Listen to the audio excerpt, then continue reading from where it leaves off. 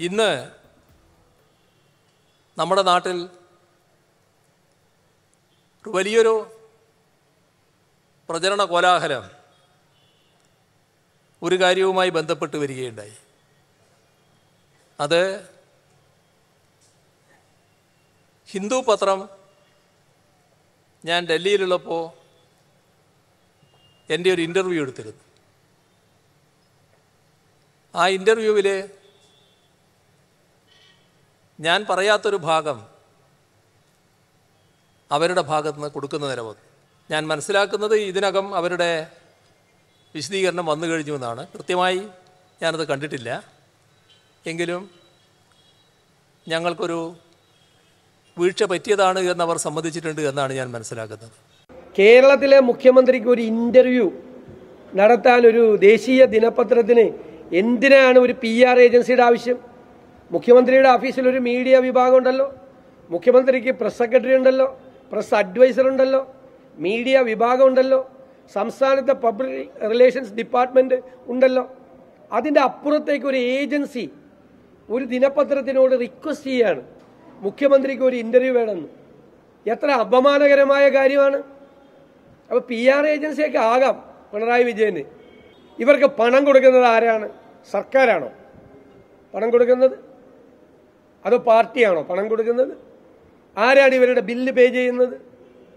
മുഖ്യമന്ത്രി ഈ ഹിന്ദു ദിനപത്രത്തിന് ഇന്റർവ്യൂ കൊടുത്ത സമയത്ത് ഈ പത്ര ഈ ഏജൻസിയുടെ ഏജന്റുമാരായി ഉണ്ടായിരുന്ന രണ്ടു രണ്ടുപേർ ആരൊക്കെയാണ്? അവർക്ക് മുഖ്യമന്ത്രിയുമായി എന്തെങ്കിലും ബന്ധമുണ്ടോ?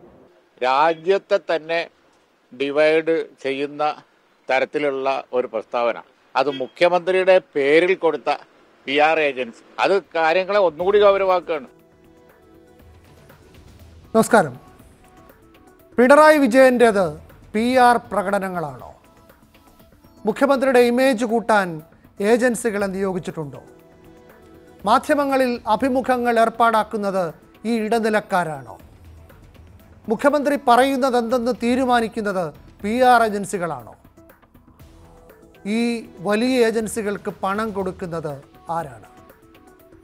യാഥാർത്ഥ്യങ്ങൾ ഒന്നൊഴിയാതെ പുറത്തു വരുമ്പോൾ ആരും ചോദിച്ചു പോകും എന്ത് പ്രഹസനമാണ് വിജയ?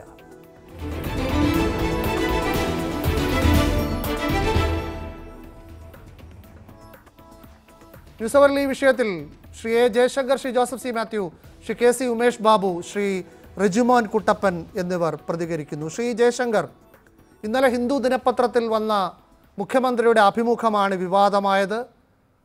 അതിലെ മലപ്പുറം പരാമർശമാണ് പലരും ഏറ്റുപിടിച്ചത്. മാധ്യമങ്ങളിൽ വലിയ വാർത്തയായതും സി പി എമ്മിന് ഉത്തരം മുട്ടിയതും. ഒടുവിൽ മുഖ്യമന്ത്രിയുടെ പ്രസ് സെക്രട്ടറി ഹിന്ദു ദിനപത്രത്തിന് ഇത് മുഖ്യമന്ത്രി പറഞ്ഞതല്ല.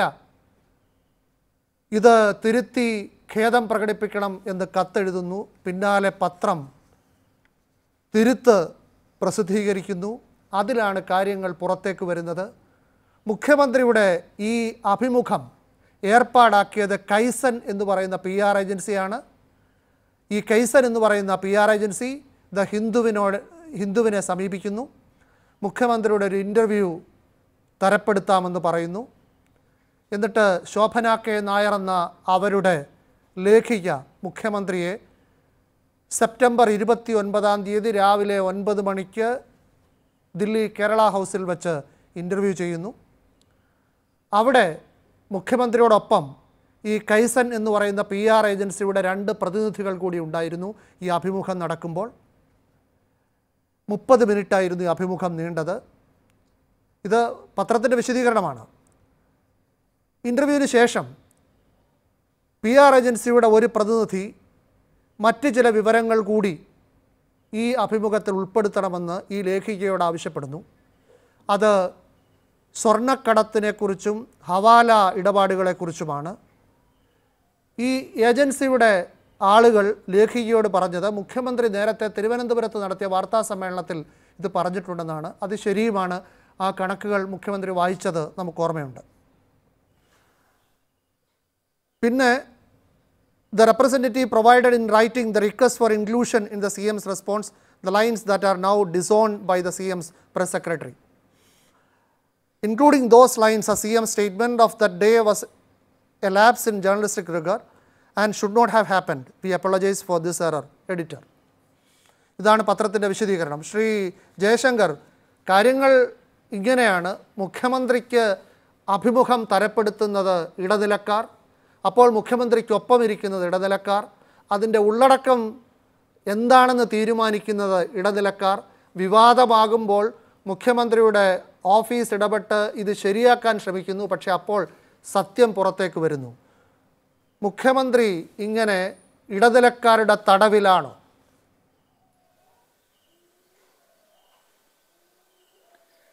അല്ല ഇതൊക്കെ കേട്ടുകേൾവില്ലാത്ത സംഭവങ്ങളാണ്. കേരള മുഖ്യമന്ത്രി എന്നുള്ളത് വളരെ പ്രധാനപ്പെട്ട ഒരു പദവിയാണ് ഒരു ഉത്തരവാദിത്തമാണ്. ആ സ്ഥാനത്തിരിക്കുന്ന ഒരാൾക്ക് ഹിന്ദുവിലല്ല ടൈംസ് ഓഫ് ഇന്ത്യയിലോ മറ്റേതെങ്കിലും പത്രത്തിൽ ഒരു ഇന്റർവ്യൂ വന്ന് കാണണം എന്ന ആഗ്രഹം തോന്നുന്നതിൽ തെറ്റൊന്നുമില്ല. അതിനുവേണ്ടി ഒരു പി ആർ ഏജൻസി വഴിക്ക് ശ്രമിക്കുന്നു പത്രം അതിന് സന്നദ്ധമാകുന്നു. അദ്ദേഹത്തിന്റെ ഇന്റർവ്യൂ എടുക്കുന്നു അദ്ദേഹം പ്രായാധിക്യമുള്ള ആളാണ് പല രോഗങ്ങളുള്ള ആളാണ്.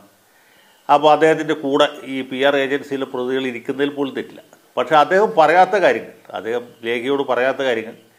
ഇത് മുഖ്യമന്ത്രി പറയേണ്ടിയിരുന്ന കാര്യമാണ്. പറയാൻ വിട്ടുപോയതാണ് എന്ന അർത്ഥത്തിൽ.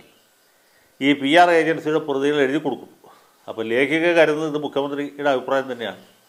എന്ന് കരുതി അത് ഇന്റർവ്യൂവിൽ ഉൾപ്പെടുത്തുന്നു. അത് അച്ചടിച്ച് വരുമ്പോൾ വിവാദമാകും.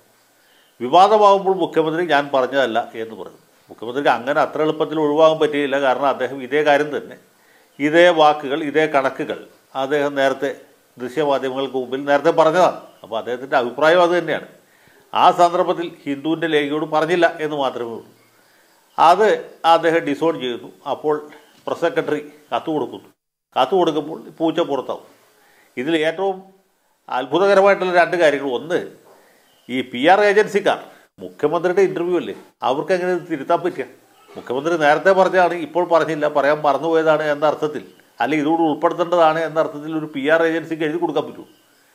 അങ്ങനെ എഴുതി കൊടുത്താൽ തന്നെ ലേഖയ്ക്ക് അത് ഉൾപ്പെടുത്താൻ പറ്റൂ.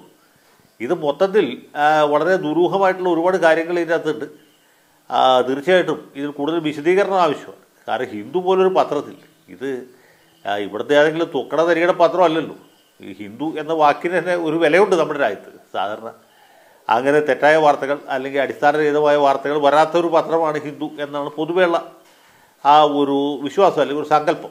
വിശ്വാസ്യതയാണ് ഹിന്ദുവിന്റെ ആ മുഖമുദ്ര. അതിൽ ഊഹോപോഹങ്ങളൊന്നും സാറിന് അങ്ങനെ അച്ചടിച്ച് വരികയില്ല. അല്ലെങ്കിൽ പറയാത്ത കാര്യങ്ങളും അച്ചടിച്ച് വരില്ല. അപ്പോൾ അങ്ങനൊരു പത്രത്തിൽ അതുകൊണ്ടുകൂടിയാണ് മുഖ്യമന്ത്രി ഈ പത്രത്തെ തന്നെ ആശ്രയിച്ചത്. അതുകൊണ്ടാണ് പി ആർ ഏജൻസി വഴി പി ആർ ഏജൻസി എന്ന രീതിയിൽ ആ പത്രത്തെ സമീപിച്ച എന്നുള്ള കാര്യത്തിൽ യാതൊരു സംശയമില്ല പക്ഷേ ഈ പത്രത്തിൽ ഇത്രയും വലിയ ഒരു എന്താണ് വളരെ അധാർമികമായിട്ടുള്ള ഒരു കാര്യം നടക്കുന്നു എന്നുള്ളത് വളരെ അത്ഭുതകരമാണ്. മാത്രമല്ല മുഖ്യമന്ത്രി എന്തിന്റെ അടിസ്ഥാനത്തിലാണ് ഈ പി ആർ ഏജൻസി ഏൽപ്പിക്കുന്നത്? ഇനി അദ്ദേഹം പറയാത്ത കാര്യങ്ങൾ. പി ആർ ഏജൻസിക്കാർക്ക് എങ്ങനെ എഴുതി കൊടുക്കാൻ ധൈര്യം വന്ന് അവരുടെ പേരിൽ ഇദ്ദേഹം എന്ത് നടപടിയാണ് സ്വീകരിക്കുന്നത്? ഇതൊക്കെ വളരെ ഗുരുതരമായിട്ടുള്ള കാര്യങ്ങളാണ്. മാത്രവുമല്ല ജയശങ്കർ എന്തിനാണ് ചോദ്യവും പ്രസക്തമല്ലേ?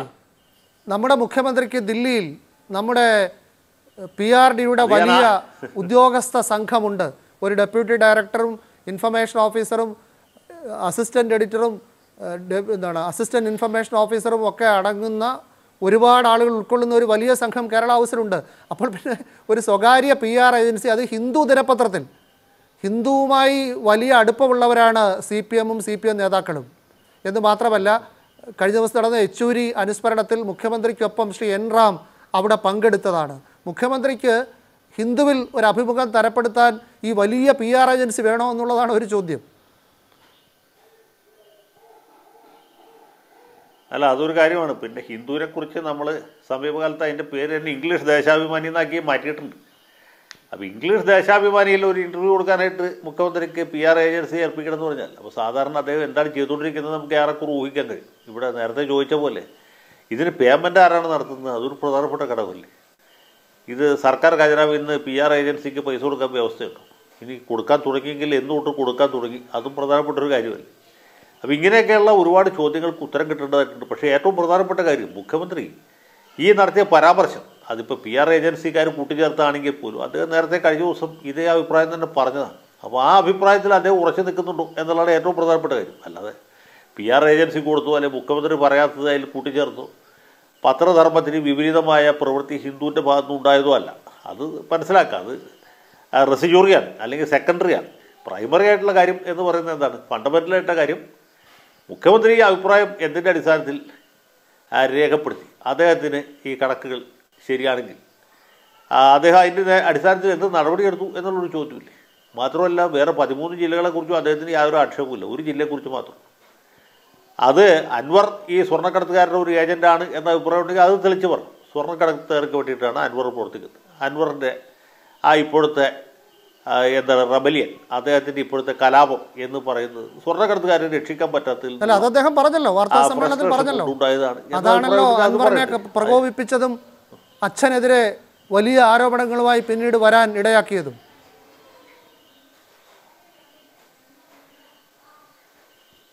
അതെ ഞാൻ പറഞ്ഞത് അദ്ദേഹം ആ അങ്ങനെ വ്യക്തമായിട്ട് പറയണം. അങ്ങനെ അൻവർ ഇന്ന രീതിയിൽ ചെയ്തു. ഞാൻ അതിന് സഹായം ചെയ്തു കൊടുത്തില്ല. അതുകൊണ്ട് അദ്ദേഹം പ്രകോപിതനായി. അത് എങ്കിൽ അത് തെളിച്ച് പറയട്ടെ. അതിന് വേറെ ഒരു ജില്ലയെ പൂർണമായിട്ടും ഒരു കുറ്റപ്പെടുന്ന രീതിയിൽ സംസാരിക്കുന്നത് ശരിയല്ലോ. മലപ്പുറം ജില്ലയിൽ നിയമം അനുസരിച്ച് ജീവിക്കുന്ന എത്രയോ ആളുകളുണ്ട്. തൊണ്ണൂറ്റി ഒമ്പത് പോയിന്റ് ഒമ്പത് ഒമ്പത് ഒമ്പത് ശതമാനം ആളുകളും നിയമം അനുസരിച്ച് ജീവിക്കുന്നവരാണ്. മാനമര്യാദയായിട്ട് തൊഴിൽ ചെയ്ത് ജീവിക്കുന്നവരാണ്. അവിടെ കള്ളക്കടത്ത് നടത്തുന്ന ആളുകളുണ്ട്. അതിപ്പോൾ എറണാകുളം ജില്ലയിലുണ്ട്. നെടുമ്പാശ്ശേരി വിമാനത്താവളം കേന്ദ്രീകരിച്ച് സ്വർണക്കടത്ത് നടത്തുന്ന എത്രയോ ആളുകളുണ്ട് എല്ലാവരും എറണാകുളം ജില്ലക്കാരല്ല. ചിലരൊക്കെ പുറത്തുനിന്ന് ഒന്ന് ചെയ്യുന്നവരാണ് പിന്നെ ഈ കരിപ്പൂർ വിമാനത്താവളത്തിലുള്ള പോലെ സ്വർണം പൊട്ടിക്കൽ പരിപാടി ഇവിടെ തുടങ്ങിയിട്ടില്ല എന്ന് മാത്രം. അപ്പോൾ നെടുമ്പാശ്ശേരി എയർപോർട്ട് വഴിക്കും വിമാന അല്ല സ്വർണം കൊണ്ടുവരുന്നുണ്ട്. കാരിയർമാരായിട്ട് പ്രവർത്തിക്കുന്നവരുണ്ട്. ആ സ്വർണം വാങ്ങിക്കുന്ന ചില ജ്വല്ലറി ബിസിനസ്സുകാരുണ്ട്. ഈ സ്വർണം കൊണ്ടുവരുന്ന ആളുകൾ കാരിയർമാർ മാത്രമാണ്. അവരാരും സ്വന്തം ആവശ്യത്തിന് വേണ്ടി കൊണ്ടുവരുന്നവരല്ല. ഇത് കൊടുത്തുവിടുന്നവരാരാണെന്ന് നമുക്കറിയില്ല ഇവിടെ സ്വീകരിക്കുന്നവരാരാണെന്ന് നമുക്കറിയില്ല. മിക്കവാറും ചില പ്രധാനപ്പെട്ട ജ്വല്ലറി ആ ഗ്രൂപ്പുകളായി. യാതൊരു സംശയവും പക്ഷേ അതിനെക്കുറിച്ച് യാതൊരു അന്വേഷണം നടക്കുകയില്ല. ഈ കാരിയർമാരെ കസ്റ്റംസ് പിടിക്കും അല്ലെങ്കിൽ കഷ്ടകാലത്ത് ചിലപ്പോൾ പോലീസ് പിടിക്കും. പക്ഷേ ആവർത്തിച്ച്. മലപ്പുറം എന്ന് മുഖ്യമന്ത്രി? പറയുന്നുണ്ടായിരുന്നു. അതുതന്നെയാണ് ഹിന്ദുവിൽ എഴുതിയതും. വലിയ വിവാദമായപ്പോൾ പിൻവാങ്ങാനുള്ള വഴി തേടുകയായിരുന്നു. അത് ഇരട്ടി പ്രഹരം ഏൽപ്പിക്കുകയും ചെയ്തു. പി ആർ ഏജൻസി മുഖ്യമന്ത്രിക്കുണ്ടെന്ന വാദം ഒരുപാട് കാലമായി പ്രതിപക്ഷം ഉന്നയിക്കുന്നുണ്ട്. അത് ഏതാണ്ട് വ്യക്തവുമായിരുന്നു. പിണറായി വിജയൻ അതൊക്കെ പുച്ഛിച്ച് തള്ളുകയായിരുന്നു ഇതുവരെ. ഇന്ന് ഹിന്ദുവിന്റെ വിശദീകരണത്തിലൂടെ അത് നമുക്കെല്ലാം ബോധ്യപ്പെടുന്നു. ഇനി എത്ര ഏജൻസികളുണ്ട്? എവിടൊക്കെയുണ്ട്? ആരൊക്കെയാണ് ഇതിന് പണം കൊടുക്കുന്നത് എന്നുകൂടി അറിഞ്ഞാൽ മതി. നേരത്തെ പി ആർ ഏജൻസിയെക്കുറിച്ച് ചോദിച്ചപ്പോൾ പ്രകോപിതനായി പിണറായി വിജയൻ പറഞ്ഞത് കേൾക്കാം. സി എം മിക്കവാറും എല്ലാ പ്രതിപക്ഷ നേതാക്കളും ഉന്നയിച്ചിട്ടുള്ള ഒരു കാര്യമാണ്. സി എം ഇപ്പോൾ ഈ പത്രസമ്മേളനം നടത്തുന്നത് പ്രതിച്ഛായ വർധനവിന്റെ ഭാഗമാണെന്നും അതിന് ഒരു പി ആർ ഏജൻസിയാണ് ചുമതലപ്പെടുത്തിയിട്ടുള്ളതെന്നും അത് ആ ഏജൻസി പറയുന്നതനുസരിച്ചാണ് സി എം എപ്പോൾ ചിരിക്കണമെന്ന് പോലും തീരുമാനിക്കുന്നതെന്ന് പ്രതിപക്ഷ നേതാക്കൾ ആവർത്തിച്ച് ഉന്നയിച്ചിട്ടുണ്ട്. അപ്പോൾ അങ്ങനെ പ്രതിച്ഛായ വർധനവിന് ആരെങ്കിലും ചുമതലപ്പെടുത്തിയിട്ടുണ്ടെങ്കിൽ അതിന്റെ വിശദ വിവരങ്ങൾ നൽകുകയാണെങ്കിൽ ഇപ്പോൾ തെരഞ്ഞെടുപ്പുകളൊക്കെ ഇനി വരുന്ന വരുമ്പോൾ മറ്റുള്ളവർക്കും അത് പ്രയോജനകരമാവും. അതുകൊണ്ടാണ് ഈ ചോദ്യം. അത് ശരി. നിങ്ങൾ കുറച്ച് കാലമായല്ലോ ഇത് ഈ കയ്യിലും കുത്തി നടക്കുന്നു കുറച്ച് ഇപ്പം പുതുതായിട്ട് വന്നതല്ലല്ലോ. ഞാനും കുറച്ച് കാലമായി കയ്യിലും കുത്തി ഇവിടെ നിൽക്കുന്നുണ്ട്. നമ്മൾ തമ്മിൽ ഇപ്പോൾ ആദ്യമായിട്ട് കാണുകയല്ല. കുറേ കാലമായിട്ട് കണ്ടുകൊണ്ടിരിക്കുന്നുണ്ടല്ലോ. നമ്മൾ തമ്മിൽ എങ്ങനെയാണ് സംസാരിക്കേണ്ടത് എന്നതിന് മറ്റാരുടെയെങ്കിലും പെട്ടെന്ന് ഉപദേശം തേടി മറുപടി പറയാന്നുള്ള ശീലമാണ് എനിക്കുള്ളത് എന്ന്. അത് സാമാന്യ ബുദ്ധിയുള്ളവരാരും പറയില്ല കേട്ടോ. ഇപ്പം നിങ്ങൾ ഒരുപാട് ചോദ്യങ്ങൾ ചോദിക്കുന്നില്ലേ? എന്നാൽ ഞാൻ ആ പി ആർ ഏജൻസിനെ ബന്ധപ്പെട്ട് എന്റെ ചെവിടിൽ മറ്റേ നിങ്ങളെ ചെവിട്ടിൽ ചിലപ്പോൾ വെക്കാറുണ്ട് സാധനങ്ങൾ അങ്ങനെയൊന്നും എന്റെ ചെവിട്ടിൽ ഇപ്പോൾ ഇല്ലല്ലോ നിങ്ങൾക്ക് എന്ത് ചോദിക്കണമെന്ന് ചിലപ്പോൾ നിർദ്ദേശങ്ങൾ വരാറുണ്ടാവുമല്ലോ. ആ അങ്ങനെ നിർദ്ദേശം വരാനുള്ള ഒരു സാധനം എന്റെ കയ്യിലില്ലല്ലോ ഞാൻ ഫ്രീ ആയിട്ട് നിൽക്കുകയല്ലേ നിങ്ങൾ ഫ്രീ ആയിട്ട് ചോദിക്കുകയല്ലേ ഏതെങ്കിലും ചോദ്യത്തിന് ഞാൻ മറുപടി പറയാതിരിക്കുന്നുണ്ടോ? ഏതെങ്കിലും പി ആർ ഏജൻസിയുടെ നിർദ്ദേശത്തിന് കാത്തു നിൽക്കുകയാണോ ഞാൻ? എന്നെ ഈ നാടിനറിയില്ലേ നാലു വർഷത്തിനിപ്പുറമാണെങ്കിലും ഹിന്ദുവിന്റെ വിശദീകരണത്തിലൂടെ പിണറായി വിജയൻ നമ്മളോട് പറഞ്ഞത് പച്ചക്കള്ളമാണെന്ന് ബോധ്യപ്പെടുകയാണ്. P R agency Kaizen approached the Hindu offering an interview with chief minister Pinarayi Vijayan. Our journalist interviewed the C M at Kerala house at nine A M on September twenty nine. where two representatives of the PR agency were also present along with the CM. The interview lasted for around 30 minutes. Subsequently, one of the PR representatives requested for the inclusion of details regarding gold smuggling and Hawala transactions, which he said were originally made at a press conference by the CM. The representative provided in writing the request for inclusion in the CM's response, the lines that are now disowned by the CM's press secretary. അങ്ങനെ പോകുന്നു ആ വിശദീകരണം ശ്രീ ഉമേഷ് ബാബു എത്ര മറച്ചു വെച്ചാലും എല്ലാം പുറത്തു വരുമെന്നാണോ? അല്ല ഇതെന്താ ചോദിച്ചു കഴിഞ്ഞാൽ ഇതിൽ ഇതിൽ ഈ പറയുന്ന മുഖ്യമന്ത്രിയുടെ വിശദീകരണം മാത്രമല്ല ഈ പത്രത്തിന്റെ വിശദീകരണം ഹിന്ദു എന്ന് പറഞ്ഞത് പതിറ്റാണ്ടുകളായി പൈസ കൊടുത്ത് വാങ്ങിച്ച് വായിക്കുന്ന ഒരു നിർഭാഗ്യവാനാണ് ഞാൻ. അതൊരു ഒരു പഴയ ശീലം. നേരത്തെ ജയശങ്കർ വക്കീൽ പറഞ്ഞ മാതിരി ഹിന്ദു ഒരു സംഭവമാണ് എന്നതിന്റെ ഒരു ചെറുപ്പകാലം മുതലുള്ള ഒരു ശീലമായിട്ട് ഇപ്പോഴും തുടരുന്നുണ്ട്. ഇന്നും ഉണ്ട്. ഇന്നലെ ഉണ്ടായിരുന്നു. അതുകൊണ്ട് മുഖ്യമന്ത്രിയുടെ അഭിമുഖം വന്ന ഉടനെ വായിച്ചിട്ടുണ്ട് ഞാൻ. അപ്പൊ എനിക്ക് പക്ഷേ ഇന്ന് ആ പത്രം കൊടുത്തുള്ള വിശദീകരണ കുറിപ്പിൽ ഒരു കുഴപ്പമുണ്ട്. മുപ്പത് മിനിറ്റ് മുഖ്യമന്ത്രിയുമായി സംസാരിച്ചു എന്നാ പറയുന്നത്. മുപ്പത് മിനിറ്റ് സംസാരിച്ചൊരു ഇന്റർവ്യൂ അല്ല അത്. അത്രയൊന്നും പോരാ. മുപ്പത് മിനിറ്റ് എന്ന് പറഞ്ഞാൽ നമുക്കറിയില്ല മനുഷ്യൻ സംസാരിച്ച് ടെക്സ്റ്റ് ആക്കിയിട്ട് വരുമ്പോൾ അപ്പൊ ഇതിനെക്കുറിച്ച് ഞാൻ സി പി എം വൃത്തങ്ങളിൽ നിന്ന് തന്നെ മനസ്സിലാക്കിയിട്ടുള്ളത് ഇത് സ്ഥിരമായി നടക്കുന്ന ഒരു കാര്യമാണ്. എന്ന് പറഞ്ഞാൽ പി ആർ ഏജൻസിയെ ഏൽപ്പിക്കുന്ന ഒരാളുണ്ട്. അയാളെ പേര് ഞാനിപ്പോൾ പറയുന്നില്ല. സി പി എം നേതാവും പഴയ പത്രപ്രവർത്തനമൊക്കെ ആയിട്ടുള്ള ഒരാളാണ്. ഇതിന്റെ ഇടനിലക്കാരൻ പി ആർ ഏജൻസിയുടെ ഇടനിലക്കാരൻ. അപ്പൊ പി ആർ ഏജൻസിയെ അയാൾ ഇപ്പോൾ ദില്ലിയിലും കൂടി പ്രവർത്തിക്കുന്ന ആളാണോ? ഞാനത് പറയുന്നില്ല. അതുകൊണ്ട് ആളുകൾ ഊഹിക്കട്ടെ എന്നേ വെക്കുന്നുള്ളൂ ഞാൻ. അപ്പൊ അതുകൊണ്ട് അല്ല അതുകൂടി പറഞ്ഞാൽ കൃത്യമാവുമായിരുന്നു. എന്റെ ഒരു സംശയം കൊണ്ടാണ്. അല്ല ഈ ഇടനിലക്കാരനായിട്ടുള്ള പാർട്ടി നേതാവ് ഈ പറയുന്ന ഈ ഏജൻസി ഏൽപ്പിക്കുക.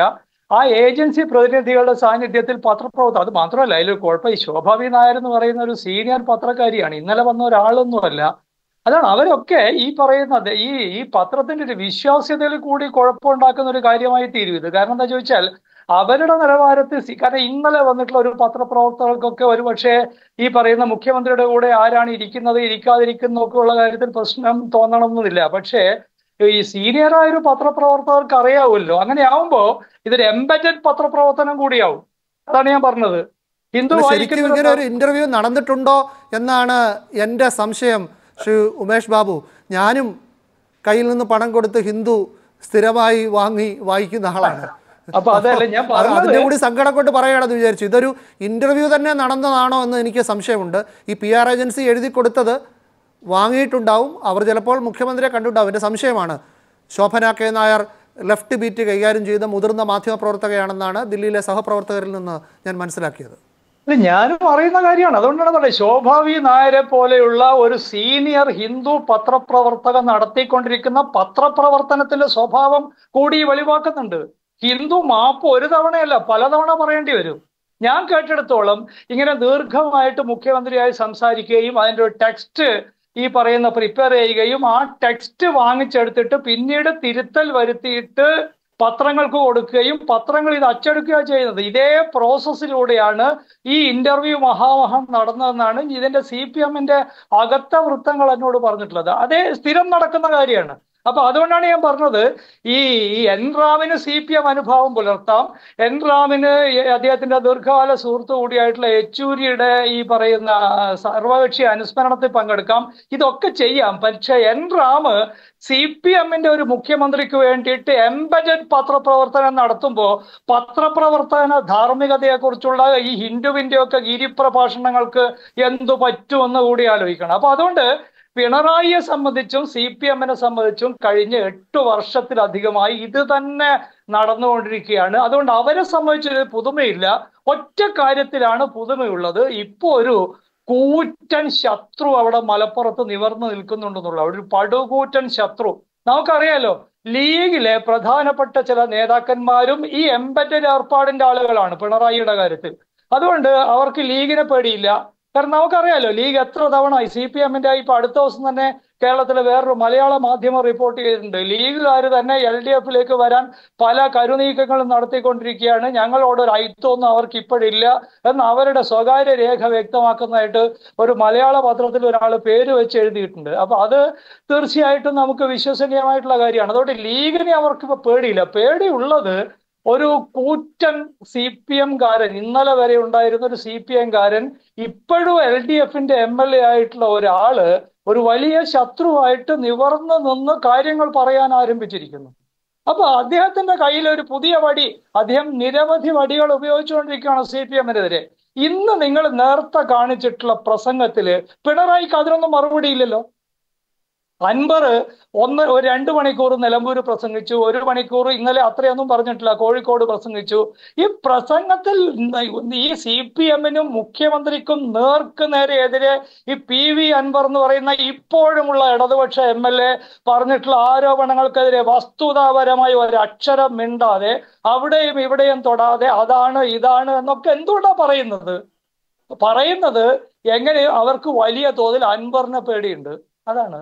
പി ആർ ഏജൻസിയെ പേടിയുണ്ടാവും കാരണം ഈ പി ആർ ഏജൻസിയെ കുറിച്ച് ഇവർക്കൊരു അഭിപ്രായ വ്യത്യാസവും ഇല്ല അഭിപ്രായ വ്യത്യാസം പറയുന്നത് എംബറ്റഡ് പത്രപ്രവർത്തനം നടത്തി നാണം കെട്ട സി- ഈ പറയുന്ന ഹിന്ദു മാനേജ്മെന്റ് ആണ് ഇങ്ങനെ പറഞ്ഞിരിക്കുന്നത്. അല്ലാതെ പി ആർ ഏജൻസിയെ കുറിച്ച് സി പി എമ്മിന് അഭിപ്രായ വ്യത്യാസമില്ലല്ലോ? മുഖ്യമന്ത്രിക്ക് അഭിപ്രായ വ്യത്യാസമില്ലല്ലോ? എന്തുകൊണ്ടാണ് ചോദിച്ചാൽ ഇത് കഴിഞ്ഞ എട്ട് വർഷമായിട്ട് എല്ലാ ദിവസവും എന്നോണം നടന്നുകൊണ്ടിരിക്കുന്ന ഒരു ദൈനംദിന കാര്യമാണ്. പക്ഷേ സത്യം പുറത്തു വരാൻ ഈ പി എം മനോജ് കാരണമായി എന്നുള്ളത് ഒരു പ്രധാനപ്പെട്ട കാര്യമാണ്. അങ്ങനെയെങ്കിലും ഒരു ഗുണം കേരളത്തിനുണ്ടായല്ലോ അയാളുടെ പണി പോകുന്ന എനിക്ക് തോന്നുന്നത്. കാരണം അയാൾ അയാൾ എന്നിട്ട് ഇതൊരു വളരെ ഘോഷമായിട്ട് അതാണ്. എന്നിട്ട് സി പി എം ഹാൻഡിലുകൾ മുഴുവൻ അതിൽ ഞാൻ കണ്ടത് ഇന്ത്യൻ എക്സ്പ്രസ്സിലെ ചില പത്രക്കാർ വരെ ഇത് ഷെയർ ചെയ്തിട്ടുണ്ട്. പി എം മനോജ് ഗംഭീരമായ ഡിഫൻസ് പിണറായിക്ക് ഉണ്ടായി കൊടുത്തു. ഇത് ആദ്യം വായിച്ച ഞാൻ അവിടുന്നാണ്. അത് കണ്ടപ്പോൾ എനിക്ക് തോന്നുന്നു എന്തൊരു മാനക്കേടാണ് പി എം മനോജ് ഈ പിണറായിക്ക് ഉണ്ടാക്കി കൊടുത്തിരിക്കുന്നുള്ളൂ ഇതങ്ങ് വിട്ടേച്ചാൽ മതി. എന്തായിരുന്നാലും പി വി അൻവർ ഉണ്ട്. അൻവർ സി പി എമ്മുമായി യുദ്ധത്തിലാണ്. അൻവർ ഇത് പറയാൻ തുടങ്ങിയിട്ടുണ്ട്. അൻവർ ഇത് പറഞ്ഞുകൊണ്ടിരിക്കും. മുഖ്യമന്ത്രി തന്നെ പഴയ ഒരു പത്രസമ്മേളനത്തിൽ ഈ കണക്കുകളൊക്കെ മുമ്പേ പറഞ്ഞതാണ്. അങ്ങനെയാണെങ്കിൽ ഒരു പി എം മനോജും ഇങ്ങനെ ഒരു ഡിഫൻസ് ഉണ്ടാക്കാൻ. ഇപ്പോഴെന്താ ചോദിച്ചാൽ സി പി എമ്മിന്റെ ഒരു പൊതു അവസ്ഥ എന്തു തൊട്ടാലും അവരുടെ സർവ രഹസ്യങ്ങളുടെ വലിയ ദുർഗങ്ങളും ഇടിഞ്ഞു വീഴുന്ന ഒരു നിലയിലാണ് അവരെത്തി നിൽക്കുന്നത്. ഒരു നിമിഷം ഇന്ന് മുഖ്യമന്ത്രി നടത്തിയ പ്രസംഗം കൂടി കേൾക്കാം. ആ പ്രസംഗം ഹിന്ദുവിന്റെ വിശദീകരണം വന്ന ശേഷമായിരുന്നു. മുഖ്യമന്ത്രിക്ക് ഒരു വലിയ മാധ്യമ സംഘമുണ്ട്. അതിൽ മാധ്യമ ഉപദേഷ്ടാക്കളുണ്ട്. വലിയ ശമ്പളം കൊടുത്ത് നിലനിർത്തുന്ന ഉപദേഷ്ടാക്കളുണ്ട്. പ്രസ് സെക്രട്ടറി ഉണ്ട്. അതിന് താഴെ അവരെ സഹായിക്കാനുള്ള സംഘമുണ്ട്. ഇനി പി ആർ ഡി തന്നെ ഉണ്ട്. എന്നിട്ട് നമ്മുടെ മുഖ്യമന്ത്രി അറിഞ്ഞേ ഇല്ല ഹിന്ദുവിന്റെ വിശദീകരണത്തിൽ എന്താണുള്ളതെന്ന്. പക്ഷേ വിശദീകരിച്ചു എന്ന കാര്യം അദ്ദേഹത്തിന് ഉറപ്പുമാണ് ആ പ്രസംഗത്തിലേക്ക്. വിമാനത്താവളങ്ങൾ വഴിയുള്ള സ്വർണക്കടത്ത്. ഇപ്പം നമ്മൾ കോഴിക്കോട് അന്താരാഷ്ട്ര വിമാനത്താവളം കോഴിക്കോട് വിമാനത്താവളം എന്നാണ് പേരെങ്കിലും അത് കരിപ്പൂരിലാണല്ലോ മലപ്പുറം ജില്ലയിലാണല്ലോ താ സ്ഥിതി ചെയ്യുന്നത്. അപ്പോൾ ആ എയർപോർട്ട് വഴിയുള്ള സ്വർണക്കടത്ത് മലപ്പുറം ജില്ലയിലുള്ള സ്വർണക്കടത്ത് മലപ്പുറം ജില്ലയിലുള്ള കേസായിട്ടാണ് രേഖപ്പെടുത്തുക. ഇത് സ്വർണക്കടത്തിനെ കുറിച്ച് പറയുന്നതാണ് ഞാൻ പറഞ്ഞ കാര്യം.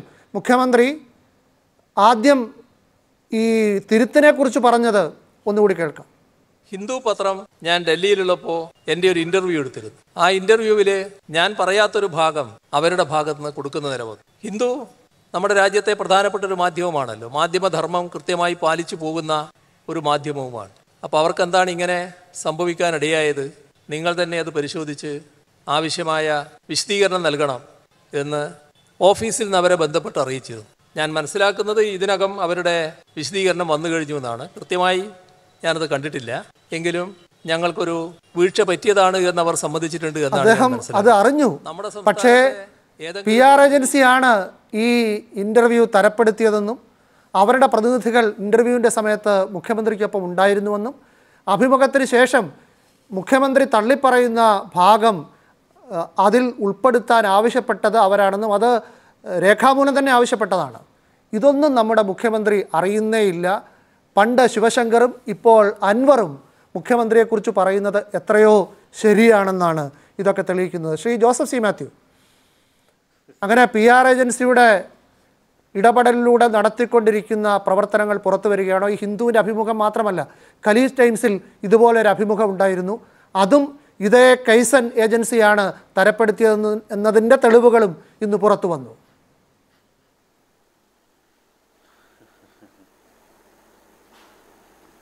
വിനു നിങ്ങൾ ചൂണ്ടിക്കാണിച്ച മുഖ്യമന്ത്രിയുടെ ഇന്നത്തെ പ്രസംഗത്തിലെ പരാമർശം അവിടെ നിന്ന് തന്നെ തുടങ്ങാം. വിനു പറഞ്ഞതുപോലെ അദ്ദേഹം അതറിയാൻ വയ്യാതെ അങ്ങനെ പറയുന്നതല്ല ശ്രദ്ധിക്കാതിരിക്കുന്നതല്ല. അദ്ദേഹം യഥാർത്ഥത്തിൽ നമ്മളെ വിഡ്ഢികളാക്കാൻ വേണ്ടി പൊട്ടം കളിച്ച് കാണിക്കുന്നതാണ്. അദ്ദേഹത്തെ പോലെ ഒരാൾ അദ്ദേഹം പറയുന്നത് മുഴുവൻ എത്ര അർത്ഥസത്യവും കളവുകളുമാണെന്ന് നിങ്ങൾ പരിശോധിച്ച് നോക്കൂ. ഹിന്ദു പത്രം ഒരു അഭിമുഖത്തിന് സമീപിച്ചു എന്ന് പറഞ്ഞാൽ ശരിയാണോ? നമുക്കറിയാമല്ലോ ഇത് ആരാണ് സമീപിച്ചതെന്ന് ഇപ്പോൾ വളരെ കൃത്യമായിട്ട് അറിയാം. അതുപോലെ ഞാൻ പറയാത്ത ചില കാര്യങ്ങൾ അവർ കൊടുക്കുന്ന നില വന്നു. ഇതല്ലല്ലോ ആ കുറിപ്പിൽ പറഞ്ഞിട്ടുള്ളത്. അപ്പോൾ ഇത് അദ്ദേഹം പി ആർ ഏജൻസിയെ ഉപയോഗിച്ചു എന്നും അദ്ദേഹത്തിന് വേണ്ടി പി ആർ ഏജൻസി പോയി ഹിന്ദുവിനെ സമീപിച്ചു എന്നും അവർ ഇന്റർവ്യൂവിൽ കൂടെ ഇരുന്നുവെന്നും അവർ അദ്ദേഹത്തിന്റെ വാക്കുകളായി എഴുതി കൊടുത്തു എന്നും ഒക്കെയുള്ള കാര്യം അദ്ദേഹം ബോധപൂർവം തമസ്കരിക്കാൻ വേണ്ടി ഇങ്ങനെ ഒരു നാടകം ഞാൻ വായിച്ചിട്ടില്ല എന്ന് പറയുകയാണ്. എത്ര ലൈൻ ഉണ്ടെന്ന് നമ്മൾ കണ്ടല്ലോ. ഇത് ശ്രദ്ധയിൽപ്പെടുത്താൻ കഴിയാത്തതാണോ ഈ സമയത്തിനുള്ളിൽ ഇത്ര സുപ്രധാനമായിട്ടുള്ള ഒരു കാര്യത്തിൽ? അപ്പോൾ അദ്ദേഹം അത് വളരെ ബോധപൂർവമായി ചെയ്യുന്നതാണ്. നമ്മളത് അദ്ദേഹം അറിയാതെ പറയുന്നു എന്ന് പറ എന്ന് കരുതുന്നത് ശരിയല്ല എന്നാണ് എന്റെ വിചാരം ഞാൻ ഈ ഈ എന്റെ വിഷയത്തിൽ പി ആർ ഏജൻസിയെ ഏർപ്പെടുത്തുന്നത് തീർച്ചയായിട്ടും അതിന്റെ അകത്ത് പ്രതിപക്ഷ നേതാവ് ചോദിച്ച ചോദ്യങ്ങളുണ്ട്. നമ്മൾ ഓർക്കേണ്ടത് C C K Chandrappan event മാനേജ്മെന്റിനെ കുറിച്ച് പറഞ്ഞത് മുതൽ Shri V D Satheesan P R ഏജൻസിയാണ് മുഖ്യമന്ത്രിയുടെ മുഴുവൻ കാര്യങ്ങളും തീരുമാനിക്കുന്നത് എന്ന് പറഞ്ഞപ്പോൾ വരെയുള്ള കാര്യങ്ങൾ നമ്മൾ പരിശോധിച്ചാൽ സി പി എം എടുത്തിരുന്ന നിലപാട് ആ പറയുന്നതിനെ ശക്തിയുക്തം എതിർക്കുകയും അങ്ങോട്ട് ആ പറയുന്നവരോട് കയർക്കുകയും ചെയ്യുക എന്നൊരു നിലപാടാണ് എടുത്തുകൊണ്ടിരുന്നത്. ഒരു പി ആർ ഏജൻസിയെ ഏർപ്പെടുത്തുന്നതിൽ തെറ്റില്ല. പുതിയ കാലഘട്ടത്തിൽ അങ്ങനെയാണ് പരിപ്പോടെ നിന്നല്ലല്ലോ പോവുക എന്നൊരു സമീപനമല്ല ഈ വിഷയത്തിൽ എടുത്തിട്ടുള്ളത് എന്ന് ഞാൻ എന്നാണ് ഞാൻ പറയാൻ വന്നത്. അപ്പോൾ പി ആർ ഏജൻസിയെ ഏർപ്പെടുത്തുന്നിടത്ത് ആര് ഈ ഇത്രയധികം പ്രസ് സെക്രട്ടറിയും മാധ്യമ ഉപദേഷ്ടാവും വേറെ പേരിൽ മാധ്യമ ഉപദേഷ്ടാക്കന്മാരും ആ പേഴ്സണൽ സ്റ്റാഫിൽ തന്നെ മൂന്നോ നാലോ പേരുണ്ട്. ഇവരെല്ലാവരും ഉള്ള സ്ഥിതിക്ക് ഇങ്ങനെ ഒരു ഏജൻസിക്ക് നിങ്ങൾ പണം കൊടുത്ത് ഏർപ്പെടുത്തുന്നതിന്റെ യുക്തി എന്താണ്? ഇതിന് പണം എവിടെ നിന്നാണ് നൽകുന്നത് എന്നുള്ള ചോദ്യം വളരെ പ്രസക്തമാണ്. പക്ഷേ അതൊരു സിവിൽ ലയബിലിറ്റി ചോദ്യം മാത്രമാണ്. അത് അവിടം കൊണ്ട് അവസാനിക്കുകയാണെന്നാണ് ഞാൻ വിചാരിക്കുന്നത്. ഇവരെല്ലാം ഉള്ള സ്ഥിതിക്ക് ഒരു പി ആർ ഏജൻസി ഇത് ചുമതലപ്പെടുത്തിയത് എന്തിന്? അതിന്റെ സാമ്പത്തിക ബാധ്യത എവിടുന്ന്? അതിന്റെ യുക്തി എന്ത് എന്നുള്ള ചോദ്യം. ബാക്കിയുള്ളതെല്ലാം സത്യത്തിൽ ക്രിമിനലാണ്. ഒരു മുഖ്യമന്ത്രി ഒരു മാധ്യമ സ്ഥാപനത്തിന് ഒരു ഇന്റർവ്യൂ കൊടുക്കുന്നിടത്ത് എങ്ങനെയാണ് ഈ പി ആർ ഏജൻസിയുടെ രണ്ട് പേര് അവിടെ വന്നിരിക്കുന്നത്? അത് ഹിന്ദുവിന്റെ പ്രതിനിധിയായിട്ടാണോ ഇരിക്കുന്നത്? അതോ മുഖ്യമന്ത്രിയുടെ പ്രതിനിധിയായിട്ടാണോ ഇരിക്കുന്നത്? അവരാണോ ഇദ്ദേഹം എന്ത് പറയണം എന്ത് പറയണ്ട എന്ന് തീരുമാനിക്കുന്നത് അവരാണോ? അപ്പം മുഖ്യമന്ത്രി കയ്യിലും കുത്തി നിൽക്കുന്ന കഥയൊക്കെ നേരത്തെ പറഞ്ഞല്ലോ. അദ്ദേഹത്തിന് അതിനെക്കുറിച്ച് എന്താണ് പറയാനുള്ളത്? എന്തിനാണ് ഈ കളവ്? നേരത്തെ ഇത് ചോദിച്ചപ്പോൾ ഈ കളവ് എന്തിനാണ് കേരളത്തിലെ ജനങ്ങളോട് പറഞ്ഞത്? അതോ ഇത് ഇന്നലെ തുടങ്ങിയ ശീലമാണോ? അപ്പോൾ അതാണ് വിനു പറഞ്ഞത് കലീജ് ടൈംസിന്റെ ഒക്കെ കാര്യം പറഞ്ഞത് ഇന്നലെ തുടങ്ങിയ ശീലമല്ല എന്ന് പറഞ്ഞത്. എങ്ങനെയാണ് ഈ ഏജൻസികൾ തിരഞ്ഞെടുക്കപ്പെടുന്നത്? ഇത് സംസ്ഥാന സർക്കാരാണ് തിരഞ്ഞെടുക്കുന്നതെങ്കിൽ ഈ ഏജൻസിയെ തിരഞ്ഞെടുക്കാൻ എന്തെങ്കിലും സംവിധാനമുണ്ടോ എന്തിന്റെ അടിസ്ഥാനത്തിലാണ് ഈ ഏജൻസിയെ തിരഞ്ഞെടുത്തിട്ടുള്ളത്? നിങ്ങൾ കോൺഗ്രസിന്റെ തീരുമാനങ്ങൾ എടുക്കുന്നതിൽ സുനിൽ കനകുലുവോ? അങ്ങനെ ഒരാൾ ഇരുന്നു എന്ന് പറഞ്ഞ് കനകിലു ആണ് ഇവരുടെ ആലോചന മീറ്റിങ്ങിൽ എങ്ങനെ ഇരുന്നു? അദ്ദേഹം എങ്ങനെ ചിന്തിച്ചു എന്നൊക്കെയുള്ള ചർച്ച നമ്മുടെ കൂടൊപ്പം വരുന്ന മാധ്യമ ചർച്ചയ്ക്ക് വരുന്ന പലരും ചോദിക്കുന്നത് നമ്മൾ കേട്ടിട്ടുണ്ട്. അന്ന് കോൺഗ്രസ്സുകാരെന്തോ ഔദ്യോഗിക സ്ഥാനം കനകുലുവിനും കൊടുത്തിട്ടുണ്ട്. അതുകൊണ്ട് ഇരിക്കുന്നതിൽ സാങ്കേതികമായി തെറ്റില്ല എന്നാണ് പറഞ്ഞത്. ഞാൻ ചോദിക്കുന്നത് ഈ പി ആർ ഏജൻസി അവിടെ ഇരുന്നത് ഏത് സർക്കാർ ജോലി കൊടുത്തിട്ടാണ്? എന്ത് ഉത്തരവാദിത്വത്തിന്റെ അടിസ്ഥാനത്തിലാണ്? അവർ പറയുന്നത് മുഖ്യമന്ത്രി പറയുന്ന വാചകമായി ഹിന്ദു എടുക്കുന്ന സാഹചര്യം എന്താണ്? അപ്പോൾ നേരത്തെ ഇവിടെ ചൂണ്ടിക്കാണിച്ച പോലെ ഞാനും ഹിന്ദുവിന്റെ ഒരു വരിക്കാരനാണ്. നമ്മൾ ഇവിടെ തന്നെ ഉള്ളതിൽ ഇപ്പം അഡ്വക്കേറ്റ് ജയശങ്കറുടെ കാര്യം പറഞ്ഞില്ല നമ്മളൊക്കെ വരിക്കാരാണ്. എനിക്ക് തോന്നുന്നു നമ്മുടെ ഒരു പൊതു ആവശ്യവും കൂടിയാണ്. ഇങ്ങനെ ഒരു വിശ്വാസ്യത മുന്നിലോട്ട് വെച്ചിട്ട് ഹിന്ദു ഇത് ഇത്രയും പറഞ്ഞ് അങ്ങനെ ഒഴുക്കൻ മട്ടിൽ അവസാനിപ്പിക്കാവുന്നതല്ല. ഇവിടെ ചെയ്യുന്നത് എന്താണ്? മുഖ്യമന്ത്രി അദ്ദേഹം പറയേണ്ട മറുപടി ഹിന്ദു തിരുത്തിയിട്ടുണ്ട് എന്നൊരു ഒഴുക്കൻ മട്ടിൽ പറഞ്ഞ് ഒഴിഞ്ഞു പോകാൻ ശ്രമിക്കുകയാണ്. മുഖ്യമന്ത്രി ആ മറുപടി പറഞ്ഞാൽ പോരല്ലോ. അദ്ദേഹത്തിന്റെ വാക്കുകൾ ചുരുങ്ങുന്ന തരത്തിൽ ഈ കെയ്സൺ എന്ന് പറയുന്ന ഒരു പി ആർ ഏജൻസിയെ ആരാണ് അവരോധിച്ചത്? അവർ പറഞ്ഞത് അദ്ദേഹത്തിന്റെ വാക്കുകളാണെന്ന് ഒരു അദ്ദേഹം തന്നെ പറയുന്ന വളരെ ഉത്തരവാദിത്വപ്പെട്ട ഒരു പത്രം എടുക്കുന്ന സാഹചര്യം എന്താണ്? നിരന്തരം അദ്ദേഹത്തിന്റെ വാക്കുകൾ അവർക്ക് കൊടുത്തുകൊണ്ടിരിക്കുന്നത് ഈ ഏജൻസിയാണോ? എന്നുള്ള കാര്യത്തിൽ തീർച്ചയായിട്ടും മുഖ്യമന്ത്രിയും മുഖ്യമന്ത്രിയുടെ ഓഫീസും മറുപടി പറഞ്ഞു പോകേണ്ടതുണ്ട്. മുഖ്യമന്ത്രിക്ക് ഒരു പ്രസ് സെക്രട്ടറി ഉണ്ട് അദ്ദേഹത്തിന്റെ ശമ്പളവും അദ്ദേഹത്തിന്റെ പെൻഷനും കൊടുക്കുന്നത് കേരളത്തിലെ ജനങ്ങളാണ്. മുഖ്യമന്ത്രിക്ക് ഒരു പൊളിറ്റിക്കൽ സെക്രട്ടറി ഉണ്ട്. എനിക്ക് തോന്നുന്നു അൻവർ പറഞ്ഞതിനേക്കാൾ വലിയൊരു ആക്ഷേപമാണ് അദ്ദേഹം ഇപ്പം നേരിടുന്നത്. അദ്ദേഹം എന്ത് പൊളിറ്റിക്സ് നോക്കുകയാണ് അവിടെ ഇരുന്നു കൊണ്ട്?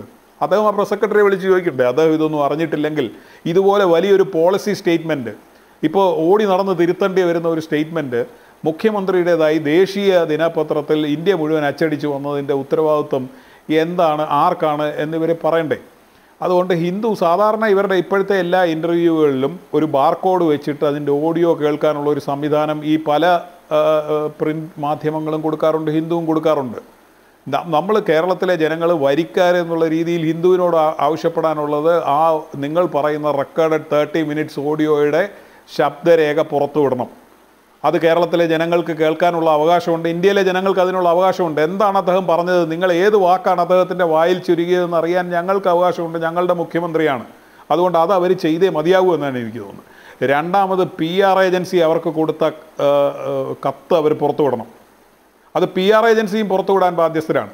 മുഖ്യമന്ത്രിയുടെ ഓഫീസ് പി ആർ ഏജൻസി മുഖ്യമന്ത്രിയുടെ ഓഫീസിന്റെ അംഗീകാരം ഇല്ലാതെയാണ് അത് കൊടുത്തതെങ്കിൽ ഞാൻ അടിവരയിട്ട് പറയുന്നു ഒരു പ്രൊഫഷണൽ ഏജൻസിയും മുഖ്യമന്ത്രിയുടെ ഓഫീസ് പറയാതെ അങ്ങനെ ഒരു അഡീഷൻ കൂടെ ആഡ് ചെയ്യണമെന്ന് പറയാറില്ല. പലപ്പോഴും ഈ പ്രിന്റ് ഇന്റർവ്യൂ എടുക്കുന്നിടത്ത് അത് അത് റെക്കോർഡ് ചെയ്ത് അത് ടൈപ്പ് ചെയ്തതിന് ശേഷം മുഖ്യമന്ത്രിയുടെ പ്രസ് സെക്രട്ടറിയോ പ്രതിപക്ഷ നേതാവിന്റെ പ്രസ് സെക്രട്ടറിയോ ആ പ്രിന്റ് ഇന്റർവ്യൂ കൊടുക്കാറുണ്ട്. ഞങ്ങളെ കാണിച്ച ശേഷമേ പ്രസിദ്ധീകരിക്കാവൂ എന്നിവർ പറയാറുണ്ട്. അത് എനിക്കും അറിവുള്ള കാര്യമാണ്. എനിക്ക് വായിക്കാൻ കൊടുക്കും എന്നുള്ളത് എനിക്ക് അറിവുള്ള കാര്യമാണ്. അപ്പോൾ എന്തെങ്കിലും തിരുത്തലോ കൂട്ടിച്ചേർക്കലോ ഉണ്ടെങ്കിൽ മുഖ്യമന്ത്രിയുടെ ഓഫീസ് പറയാറുണ്ട് അത് കൂട്ടിച്ചേർക്കാറുണ്ട്. അത് പ്രിന്റ് ഇന്റർവ്യൂവിൽ എടുക്കാറുള്ള ഒരു ലിബർട്ടിയാണ് അദ്ദേഹം പറഞ്ഞ കാര്യത്തെ കൂടുതൽ വ്യക്തതയാക്കാൻ അല്ലെങ്കിൽ വിട്ടുപോയൊരു കാര്യം ഉണ്ടെങ്കിൽ ചേർക്കാറുണ്ട്. പക്ഷേ അത് ചെയ്യുന്നത് മുഖ്യമന്ത്രി അല്ലെ മുഖ്യമന്ത്രിയുടെ ഓഫീസാണ്. മുഖ്യമന്ത്രിയുടെ ഓഫീസ് അറിയാതെ പി ആർ ഏജൻസി ഇത് ചെയ്തിട്ടുണ്ടെങ്കിൽ അതൊരു ക്രിമിനൽ ഒഫൻസാണ്. പ്രത്യേകിച്ച് ഇത്ര ഗുരുതരമായ ഒരു കാര്യം ചെയ്തിട്ടുണ്ടെങ്കിൽ ഇവിടെ കലാപാഹ്വാനത്തിന് നൂറ് പേർക്കെതിരെ കേസെടുക്കുന്ന വെറും ഫേസ്ബുക്ക് കമന്റിന് ഇന്നലെയും കേസെടുത്ത സംസ്ഥാന സർക്കാർ. ഈ പി ആർ ഏജൻസിക്കെതിരെ എന്തുകൊണ്ടാണ് കേസ് കൊടുക്കാത്തത്? അതുകൊണ്ട് ഇങ്ങനെ ഒഴുക്കൻ മട്ടിൽ പറഞ്ഞുകൊണ്ട് പോകാവുന്ന ഒരു ഒരു പ്രശ്നമല്ല ഇത് ഈ സംഭവിച്ചിരിക്കുന്നത്. ഈ ഇന്റർവ്യൂ തന്നെ നോക്കിക്കഴിഞ്ഞാൽ ഈ ഇന്റർവ്യൂവിന്റെ തലക്കെട്ട് എന്താണ് ഇതിന് ഈ ഇന്റർവ്യൂ എന്തിനു വേണ്ടി നടത്തിയതാണ്? ഈ ഇന്റർവ്യൂവിൽ രണ്ട് കാര്യങ്ങളെ പറയുന്നുള്ളൂ. ഒന്ന് ആർ എസ് എസിനോട് മൃദു സമീപനം പുലർത്തുന്നു സി പി ഐ എമ്മും മുഖ്യമന്ത്രിയും എന്നുള്ള ആക്ഷേപത്തിന് മറുപടി പറയുക. രണ്ട് മുഖ്യമന്ത്രിക്ക് പ്രായാധിക്യം കൊണ്ട് ഒഴിയേണ്ട കാര്യമൊന്നുമില്ല. വേണമെങ്കിൽ തുടരാൻ അദ്ദേഹം തയ്യാറാണെന്നുള്ള സന്നദ്ധത അറിയിക്കുക. ഈ രണ്ട് കാര്യങ്ങളെ അതിൽ നടന്നിട്ടുള്ളതെന്ന് എനിക്ക് തോന്നുന്നത്. ഈ രണ്ടിൽ രണ്ട് മെസ്സേജിൽ ഏതും കൊടുക്കാൻ വേണ്ടി ഒരു ഇന്റർവ്യൂ തരപ്പെടുത്താവുന്നതാണ്. അത് നമുക്ക് ഊഹിക്കാവുന്നതുമാണ്. പക്ഷേ ഈ ആർ എസ് എസിന്റെ ഇതാണ് തലക്കെട്ടായി പറഞ്ഞ അതാണ് പറയാനായി വെച്ചിരിക്കുന്നത്. അവിടെ മുഖ്യമന്ത്രി പറഞ്ഞു അദ്ദേഹം അതിന്റെ തലേ ദിവസം പറയാത്ത ഒരു കാര്യവും ഈ ഇന്റർവ്യൂവിൽ വന്നിട്ടില്ല. നമ്മൾ ഹിന്ദുവിന്റെ സ്റ്റേറ്റ്മെന്റ് നമ്മൾ കൃത്യമായി ശ്രദ്ധിച്ചാൽ അവർ പറയുന്നത് സ്റ്റേറ്റ്മെന്റ് ഓഫ് ദാറ്റ് ഡേ അതിൽ വരാത്ത ഒരു കാര്യം. അന്നത്തെ ദിവസത്തെ സ്റ്റേറ്റ്മെന്റിൽ വരാത്ത ഒരു കാര്യം വന്നതിൽ ഖേദിക്കുന്നു എന്നാണ് അവർ പറയുന്നത്. പക്ഷേ ഞാൻ നേരത്തെ പറഞ്ഞ പോലെ അങ്ങനെ ഒഴുക്കം മട്ടി പോകാവുന്ന കാര്യമല്ല. അവർ കൃത്യമായി പറയേണ്ടതുണ്ട്. അവർ പറഞ്ഞത് മുഖ്യമന്ത്രി അതിന്റെ തലേ ദിവസത്തെ ഇന്റർവ്യൂകളിൽ പറഞ്ഞ കാര്യം പി ആർ ഏജൻസി വഴി ഇവർക്ക് എത്തിച്ചു കൊടുത്തു. പി ആർ ഏജൻസി തീർച്ചയായിട്ടും മുഖ്യമന്ത്രിയുടെ ഓഫീസിന്റെ അനുവാദമില്ലാതെ അത് ചെയ്യില്ല.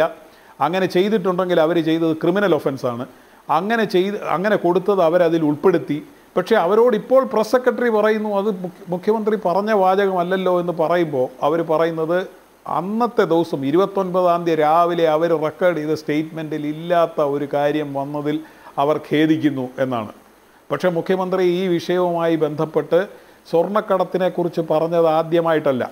നിങ്ങൾ ആ ചോദ്യം വിനു കൃത്യമായിട്ടൊന്ന് ശ്രദ്ധിച്ചാൽ ആ ചോദ്യം ചോദിക്കുന്നത് എന്താണ്? ആർ എസ് എസിന്റെ ബി ജെ പിയുടെ കേരളത്തിലെ വർദ്ധിച്ചു വരുന്ന ഒരു പ്രസൻസിന്റെ മധ്യത്തിൽ നിങ്ങളുടെ പോലീസ് ഉദ്യോഗസ്ഥരും സ്റ്റാഫ് അംഗങ്ങളും ആർ എസ് എസ് നേതാക്കളെ അങ്ങോട്ട് പോയി കാണുന്ന പശ്ചാത്തലത്തിൽ C P I M B J പിയോടൊരു മൃദു സമീപനമാണ് പുലർത്തുന്നതെന്നുള്ള ചോദ്യത്തെ നിങ്ങൾ എങ്ങനെ നേരിടും? അതാണ് ചോദ്യം. മറുപടി പറയുന്ന രണ്ട് കാര്യങ്ങളാണ്. ഒന്ന് പരമ്പരാഗതമായി യു ഡി എഫിനോടൊപ്പം നിന്ന ന്യൂനപക്ഷ വിഭാഗം എൽ ഡി എഫിനോട് അടുക്കുന്നു. അതിൽ അസ്വസ്ഥരായിട്ടുള്ള യു ഡി എഫ് ഇങ്ങനെ ഒരു തെറ്റായ പ്രചരണം നടത്തുന്നു. രണ്ടാമത്തെ കാര്യം ഇവിടുത്തെ എക്സ്ട്രീമിസ്റ്റ് എലമെന്റ്സ് അവരിതിന് ഇതിനെ എടുത്ത് ഉപയോഗിക്കുന്നു മുസ്ലിം തീവ്രവാദികൾ സ്വർണം കടത്തുന്നതിനെതിരായിട്ട് ഞങ്ങൾ നീങ്ങുമ്പോൾ അത് മുസ്ലിങ്ങൾക്കെതിരാണെന്ന് വ്യാഖ്യാനിക്കുന്നു അതിന് ഉദാഹരണം ഫോർ എക്സാമ്പിൾ എന്ന് പറഞ്ഞ് ഈ കാര്യം പറഞ്ഞു അത് ഒരുപക്ഷെ അദ്ദേഹം അവിടെ ഇല്ലാത്ത കാര്യം പുറകെ കൂട്ടിച്ചേർത്തതാവാം പക്ഷേ അദ്ദേഹം എന്റെ തലേ ദിവസത്തെ ഇന്റർവ്യൂവിലും അദ്ദേഹം പറഞ്ഞത് കണക്കുകൾ പരിശോധിക്കുമ്പോൾ ചില കാര്യങ്ങൾ വ്യക്ത വ്യ- വ്യക്തത വരും എന്നാണ് അദ്ദേഹം പറഞ്ഞത്. എന്നിട്ടാണ് അദ്ദേഹം ഈ കൃത്യമായിട്ട്. ചൂണ്ടി ഇന്ത്യയിലെ മാധ്യമങ്ങൾ മാത്രമല്ല ശ്രീ രജുമോൻ വിദേശ മാധ്യമങ്ങളിലും എങ്ങനെയാണ് അഭിമുഖം വരുന്നതെന്ന് ഇപ്പോൾ വ്യക്തമാവുകയാണ്. ഏറ്റവും ഒടുവിൽ പിണറായി വിജയന്റെ ഗൾഫിൽ വന്ന ഇന്റർവ്യൂ ഈ കെയ്സൺ പി ആർ ഏജൻസി തരപ്പെടുത്തിയതാണ്. കോവിഡ് കാലത്തൊക്കെ ന്യൂയോർക്ക് ടൈംസിൽ വന്നു മറ്റ് വിദേശ മാധ്യമങ്ങളിൽ വന്നു എന്നൊക്കെ പറയുന്നതിന്റെയൊക്കെ യഥാർത്ഥ കാരണം തേടിപ്പോയാൽ ഒരുപാട് ഏജൻസികളെ കണ്ടെത്തേണ്ടി വരുമോ എന്ന സംശയമുണ്ടിപ്പോൾ. തീർച്ചയായും വിനു. വിനു വസ്തുതകൾ വളച്ചൊടിക്കുക സത്യം മറച്ചു പിടിക്കുക തെറ്റായ നരേഷൻ കൊടുക്കുക. ഇത് മൂന്നുമാണ് ഒന്നാം പിണറായി സർക്കാരിന്റെയും രണ്ടാം പിണറായി സർക്കാരിന്റെയും മുഖമുദ്ര. ഇതിനു വേണ്ടി കോടിക്കണക്കിന് രൂപ കൊടുത്ത് പി ആർ ഏജൻസികളെ ഹയർ ചെയ്യും. ഇതിനുവേണ്ടി ലക്ഷക്കണക്കിന് രൂപ മുടക്കി സ്വന്തം സോഷ്യൽ മീഡിയ ടീമിനെ ഹാൻഡിൽ ചെയ്യും. ഇതുകൂടാതെ പത്ര പാർട്ടിയുടെ പത്ര ചാനൽ രംഗങ്ങളും അല്ലെങ്കിൽ ആ മീഡിയം യൂസ് ചെയ്യും എന്നുള്ളതാണ് വസ്തുത. പിന്നെ ഒന്നാം പിണറായി സർക്കാർ തൊട്ടുള്ള ഈ നരേഷൻ വസ്തുതകൾ മറച്ചു പിടിക്കുന്നത് സത്യം മറച്ചു പിടിക്കുന്നത് ഒന്ന് എടുത്തു വെച്ച് നോക്കിയാൽ അറിയാം. നിപ്പ വന്നപ്പോൾ നമ്മളോടൊക്കെ സാധാരണക്കാരോട് എന്താ പറഞ്ഞ? നിപ്പ ചവിട്ടി പിടിച്ചെന്നാണ് പറഞ്ഞത് ഇരുപത്തൊന്ന് പേര് ഇൻഫെക്റ്റഡ് ആയതിൽ പതിനേഴ് പേര് മരിച്ചു. എന്നിട്ട് ഇപ്പോഴും നിപ്പ തുടരുന്നുകൊണ്ട് വിദഗ്ധരായിട്ടുള്ള മെഡിക്കൽ ഉദ്യോഗസ്ഥരോട് ചോദിച്ചു കഴിഞ്ഞാൽ നിപ്പയുടെ റൂട്ട് കോസ് ഇതുവരെ നമുക്ക് കണ്ടെത്താൻ സാധിച്ചിട്ടില്ല എന്നുള്ളതാണ് വസ്തുത. പക്ഷേ നമ്മളോട് എന്താ പറഞ്ഞത്? നിപ്പ നമ്മൾ ചവിട്ടി പിടിച്ചു. ആരോഗ്യ രംഗത്ത് ഒന്നാം രംഗമാണ് നമ്മൾ. അതിന് വേണ്ടിയിട്ടുള്ള പോസ്റ്റുകളും ബാനറുകളും ഉണ്ടാക്കി. ഇനി കോവിഡിന്റെ കാര്യം എടുക്കുകയാണെന്നുണ്ടെങ്കിൽ ഇന്ത്യയിൽ തന്നെ രണ്ടാം മരണനിരക്ക് ഏറ്റവും കൂടിയ രണ്ടാം മരണനിരക്ക് എഴുപത്തി രണ്ടായിരം പ്ലസ് ആൾക്കാർ കേരളത്തിൽ കോവിഡ് വന്ന് മരിച്ചു. പക്ഷേ നമ്മളോട് എന്താ പറഞ്ഞത്?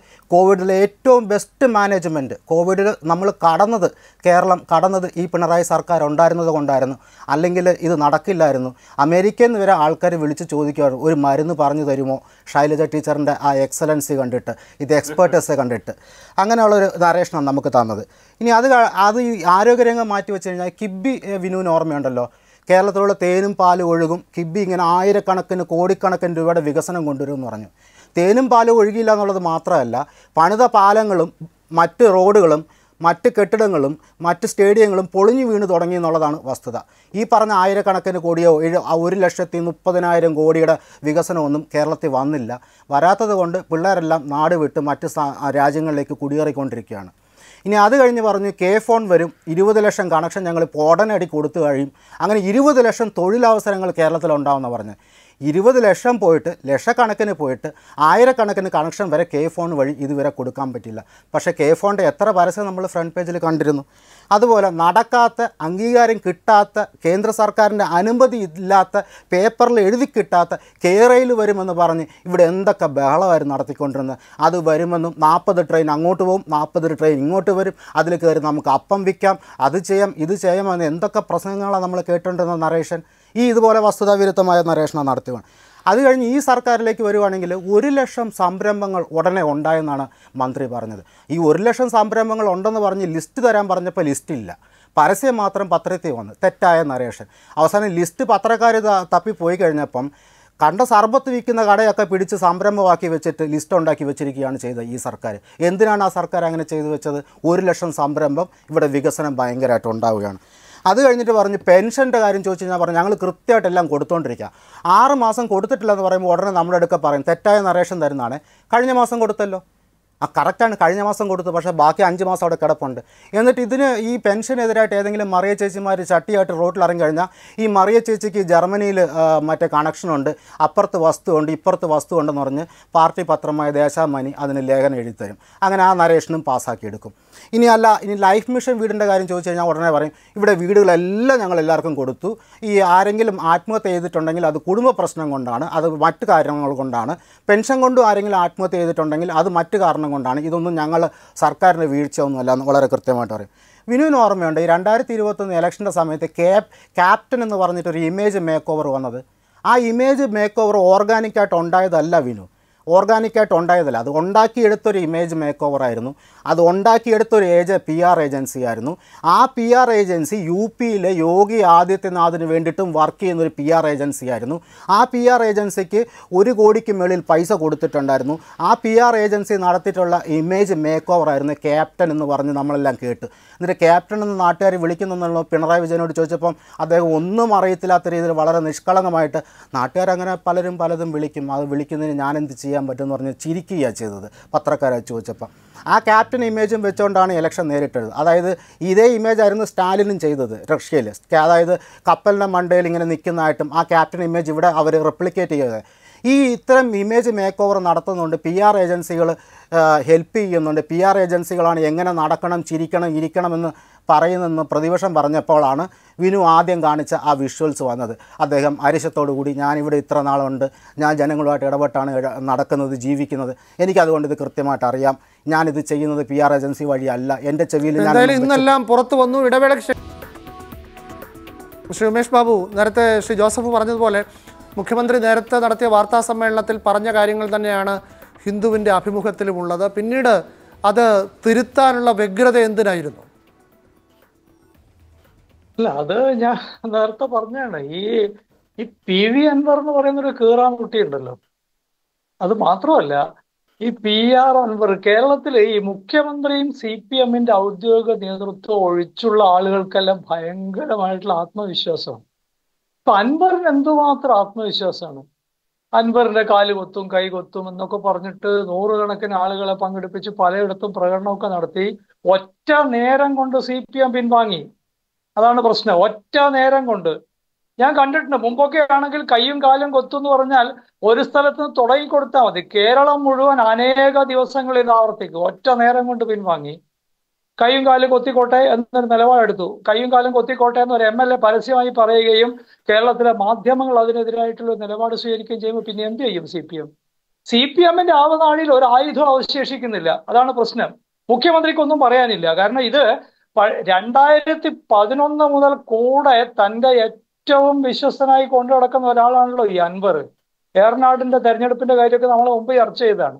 രണ്ടായിരത്തി പതിനൊന്ന് മുതൽ ഉണ്ടാക്കി തീർത്തിട്ടുള്ള അതിദൃഢമായിട്ടുള്ള ഒരു ബന്ധത്തിന്റെ പുറത്ത് സംഭവിച്ച എന്തൊക്കെയോ കാര്യങ്ങളെ മുൻനിർത്തിയിട്ടാണ് അൻവർ യുദ്ധത്തിന് ഇറങ്ങിയിട്ടുള്ളത് പിൻവാങ്ങില്ല എന്ന കാര്യത്തിൽ അൻവറിന് ഉറപ്പുണ്ട്. പക്ഷെ സി പി എമ്മിന്റെ കൊല കൊമ്പൻ ഒരു നേതാവിനും ഈ പറയുന്ന തരത്തിൽ ഇതെന്ത് ചെയ്യുന്ന ബോധമില്ല ഇപ്പോ അന്ന് ഡൽഹിയിൽ എഴുതി കൊണ്ടുവന്ന കടലാസ് വെച്ച് പത്രസമ്മേളനം നടത്തി എം പി ഗോവിന്ദൻ എവിടെ പോയി?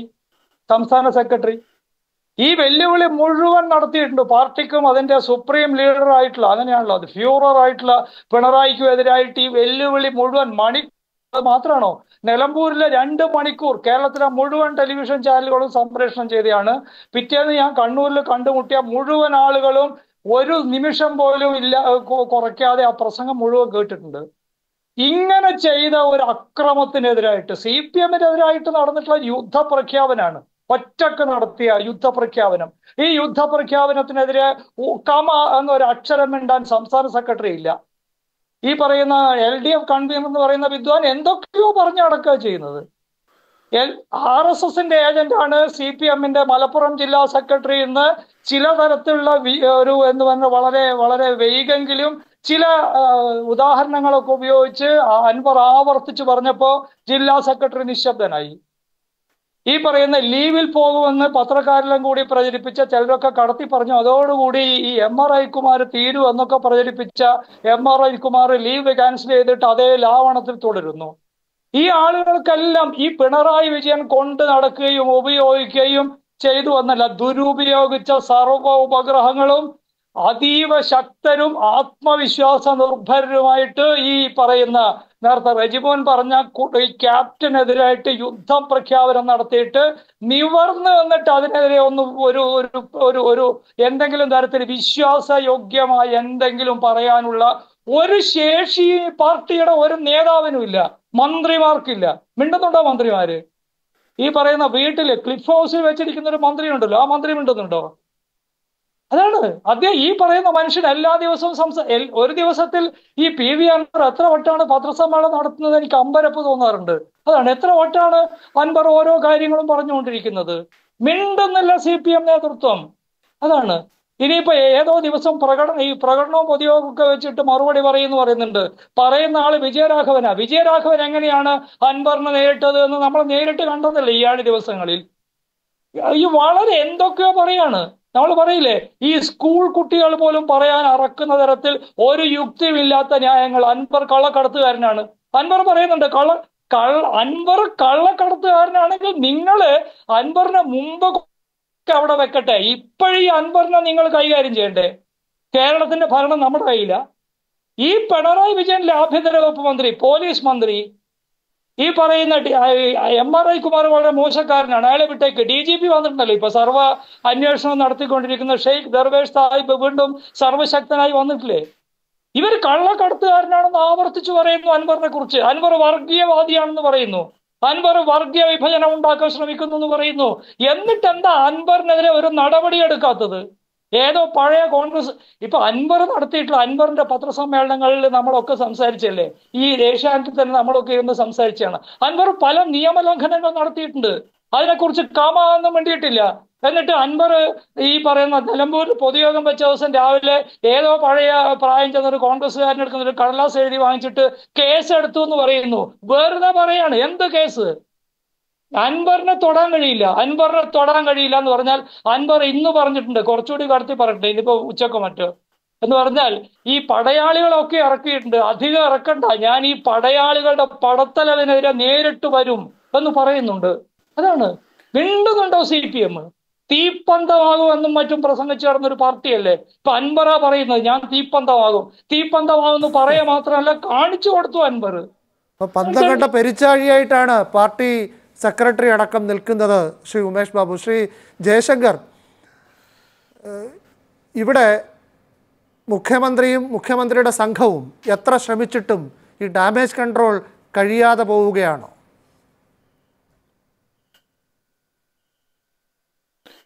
അത് അവർ വിചാരിച്ചാൽ പരിഹരിക്കാവുന്ന ഒരു ഡാമേജ് അല്ലല്ലോ ഉണ്ടാക്കിയിട്ടുള്ളത്. അൻവർ ഉണ്ടാക്കിയിട്ടുള്ളത് രണ്ട് തരത്തിലുള്ള ഡാമേജാണ്. ഒന്ന് കേരളത്തിലെ പോലീസ് സംവിധാനം ആദ്യം അത്യാന്തം സംഘപരിവാർ വൽകൃതമായിരിക്കും. അല്ലെങ്കിൽ ഇവിടെ ഒരു ചാനലുകാർ പ്രചരിപ്പിക്കുന്ന പോലെ ഡീപ്പ് സ്റ്റേറ്റ് ഇവിടെ പ്രവർത്തിക്കും. അതിന് ചുക്കാൻ പിടിക്കുന്നത് തിരുവനന്തപുരത്ത് നിന്നല്ല. എം ആർ രാജീവ് കുമാറോ പൊളിറ്റിക്കൽ സെക്രട്ടറിയോ അല്ല. ആ മുഖ്യമന്ത്രി പോലും അല്ല. തീർച്ചയായിട്ടും അത് നാഗ്പൂരിൽ നിന്നാണ്. അതായത് ആർ എസ് എസ് ഹെഡ് ക്വാർട്ടേഴ്സിൽ നിന്നാണ്. ആർ എസ് എസും സി പി എമ്മും തമ്മിലുള്ള അവിശുദ്ധ ബന്ധം. അത് ഒരു സാധ്യതയാണ്. സാധ്യതയ്ക്കപ്പുറത്ത് എന്തുണ്ട് എന്നുള്ളത് വേറെ ചോദ്യമാണ്. ഏതായാലും അങ്ങനെ ഒരു സംഗതി ഇവിടെ വലിയൊരു വിഭാഗം ആളുകൾ വിശ്വസിക്കുന്നു എന്നുള്ളതാണ് പ്രധാനം. ആർക്കും എന്ത് ആരോപണം വേണമെങ്കിൽ ഉന്നയിക്കാം. പക്ഷേ വലിയൊരു വിഭാഗം ആളുകൾ വിശ്വസിക്കുന്നു. അപ്പോൾ അതിൽ നിന്ന് പുറത്തു കിടക്കാനുള്ള ഒരു ശ്രമമാണ് മറുഭാഗത്ത് നടക്കുന്നത്. ക്രമസമാധാന പരിപാലനത്തിൽ വലിയ വീഴ്ച ഉണ്ടായിട്ടുണ്ട് വലിയ തകർച്ച ഉണ്ടായിട്ട് അരാജകത്വം പടർന്നു പിടിക്കുന്നുള്ള വേറൊരു ഭാഗത്തുണ്ട്. പക്ഷേ ഇതിൽ നിന്ന് പുറത്തു കിടക്കാൻ വേണ്ടി മുഖ്യമന്ത്രി വളരെ ബോധപൂർവമായിട്ട് ഒരു കാവി കാർഡ് എടുക്കും. അഥവാ ഈ അൻവർ സംരക്ഷിക്കാൻ ശ്രമിക്കുന്നത് സ്വർണക്കടത്തുകാരുടെ താല്പര്യങ്ങളാണ്. അത് കേരളത്തിലെ പതിമൂന്ന് ജില്ലകളിൽ ഉള്ളതിനേക്കാൾ കൂടുതൽ അല്ലെങ്കിൽ അതിനേക്കാൾ രൂക്ഷമായ രീതിയിൽ മലപ്പുറം ജില്ലയിലുണ്ട്.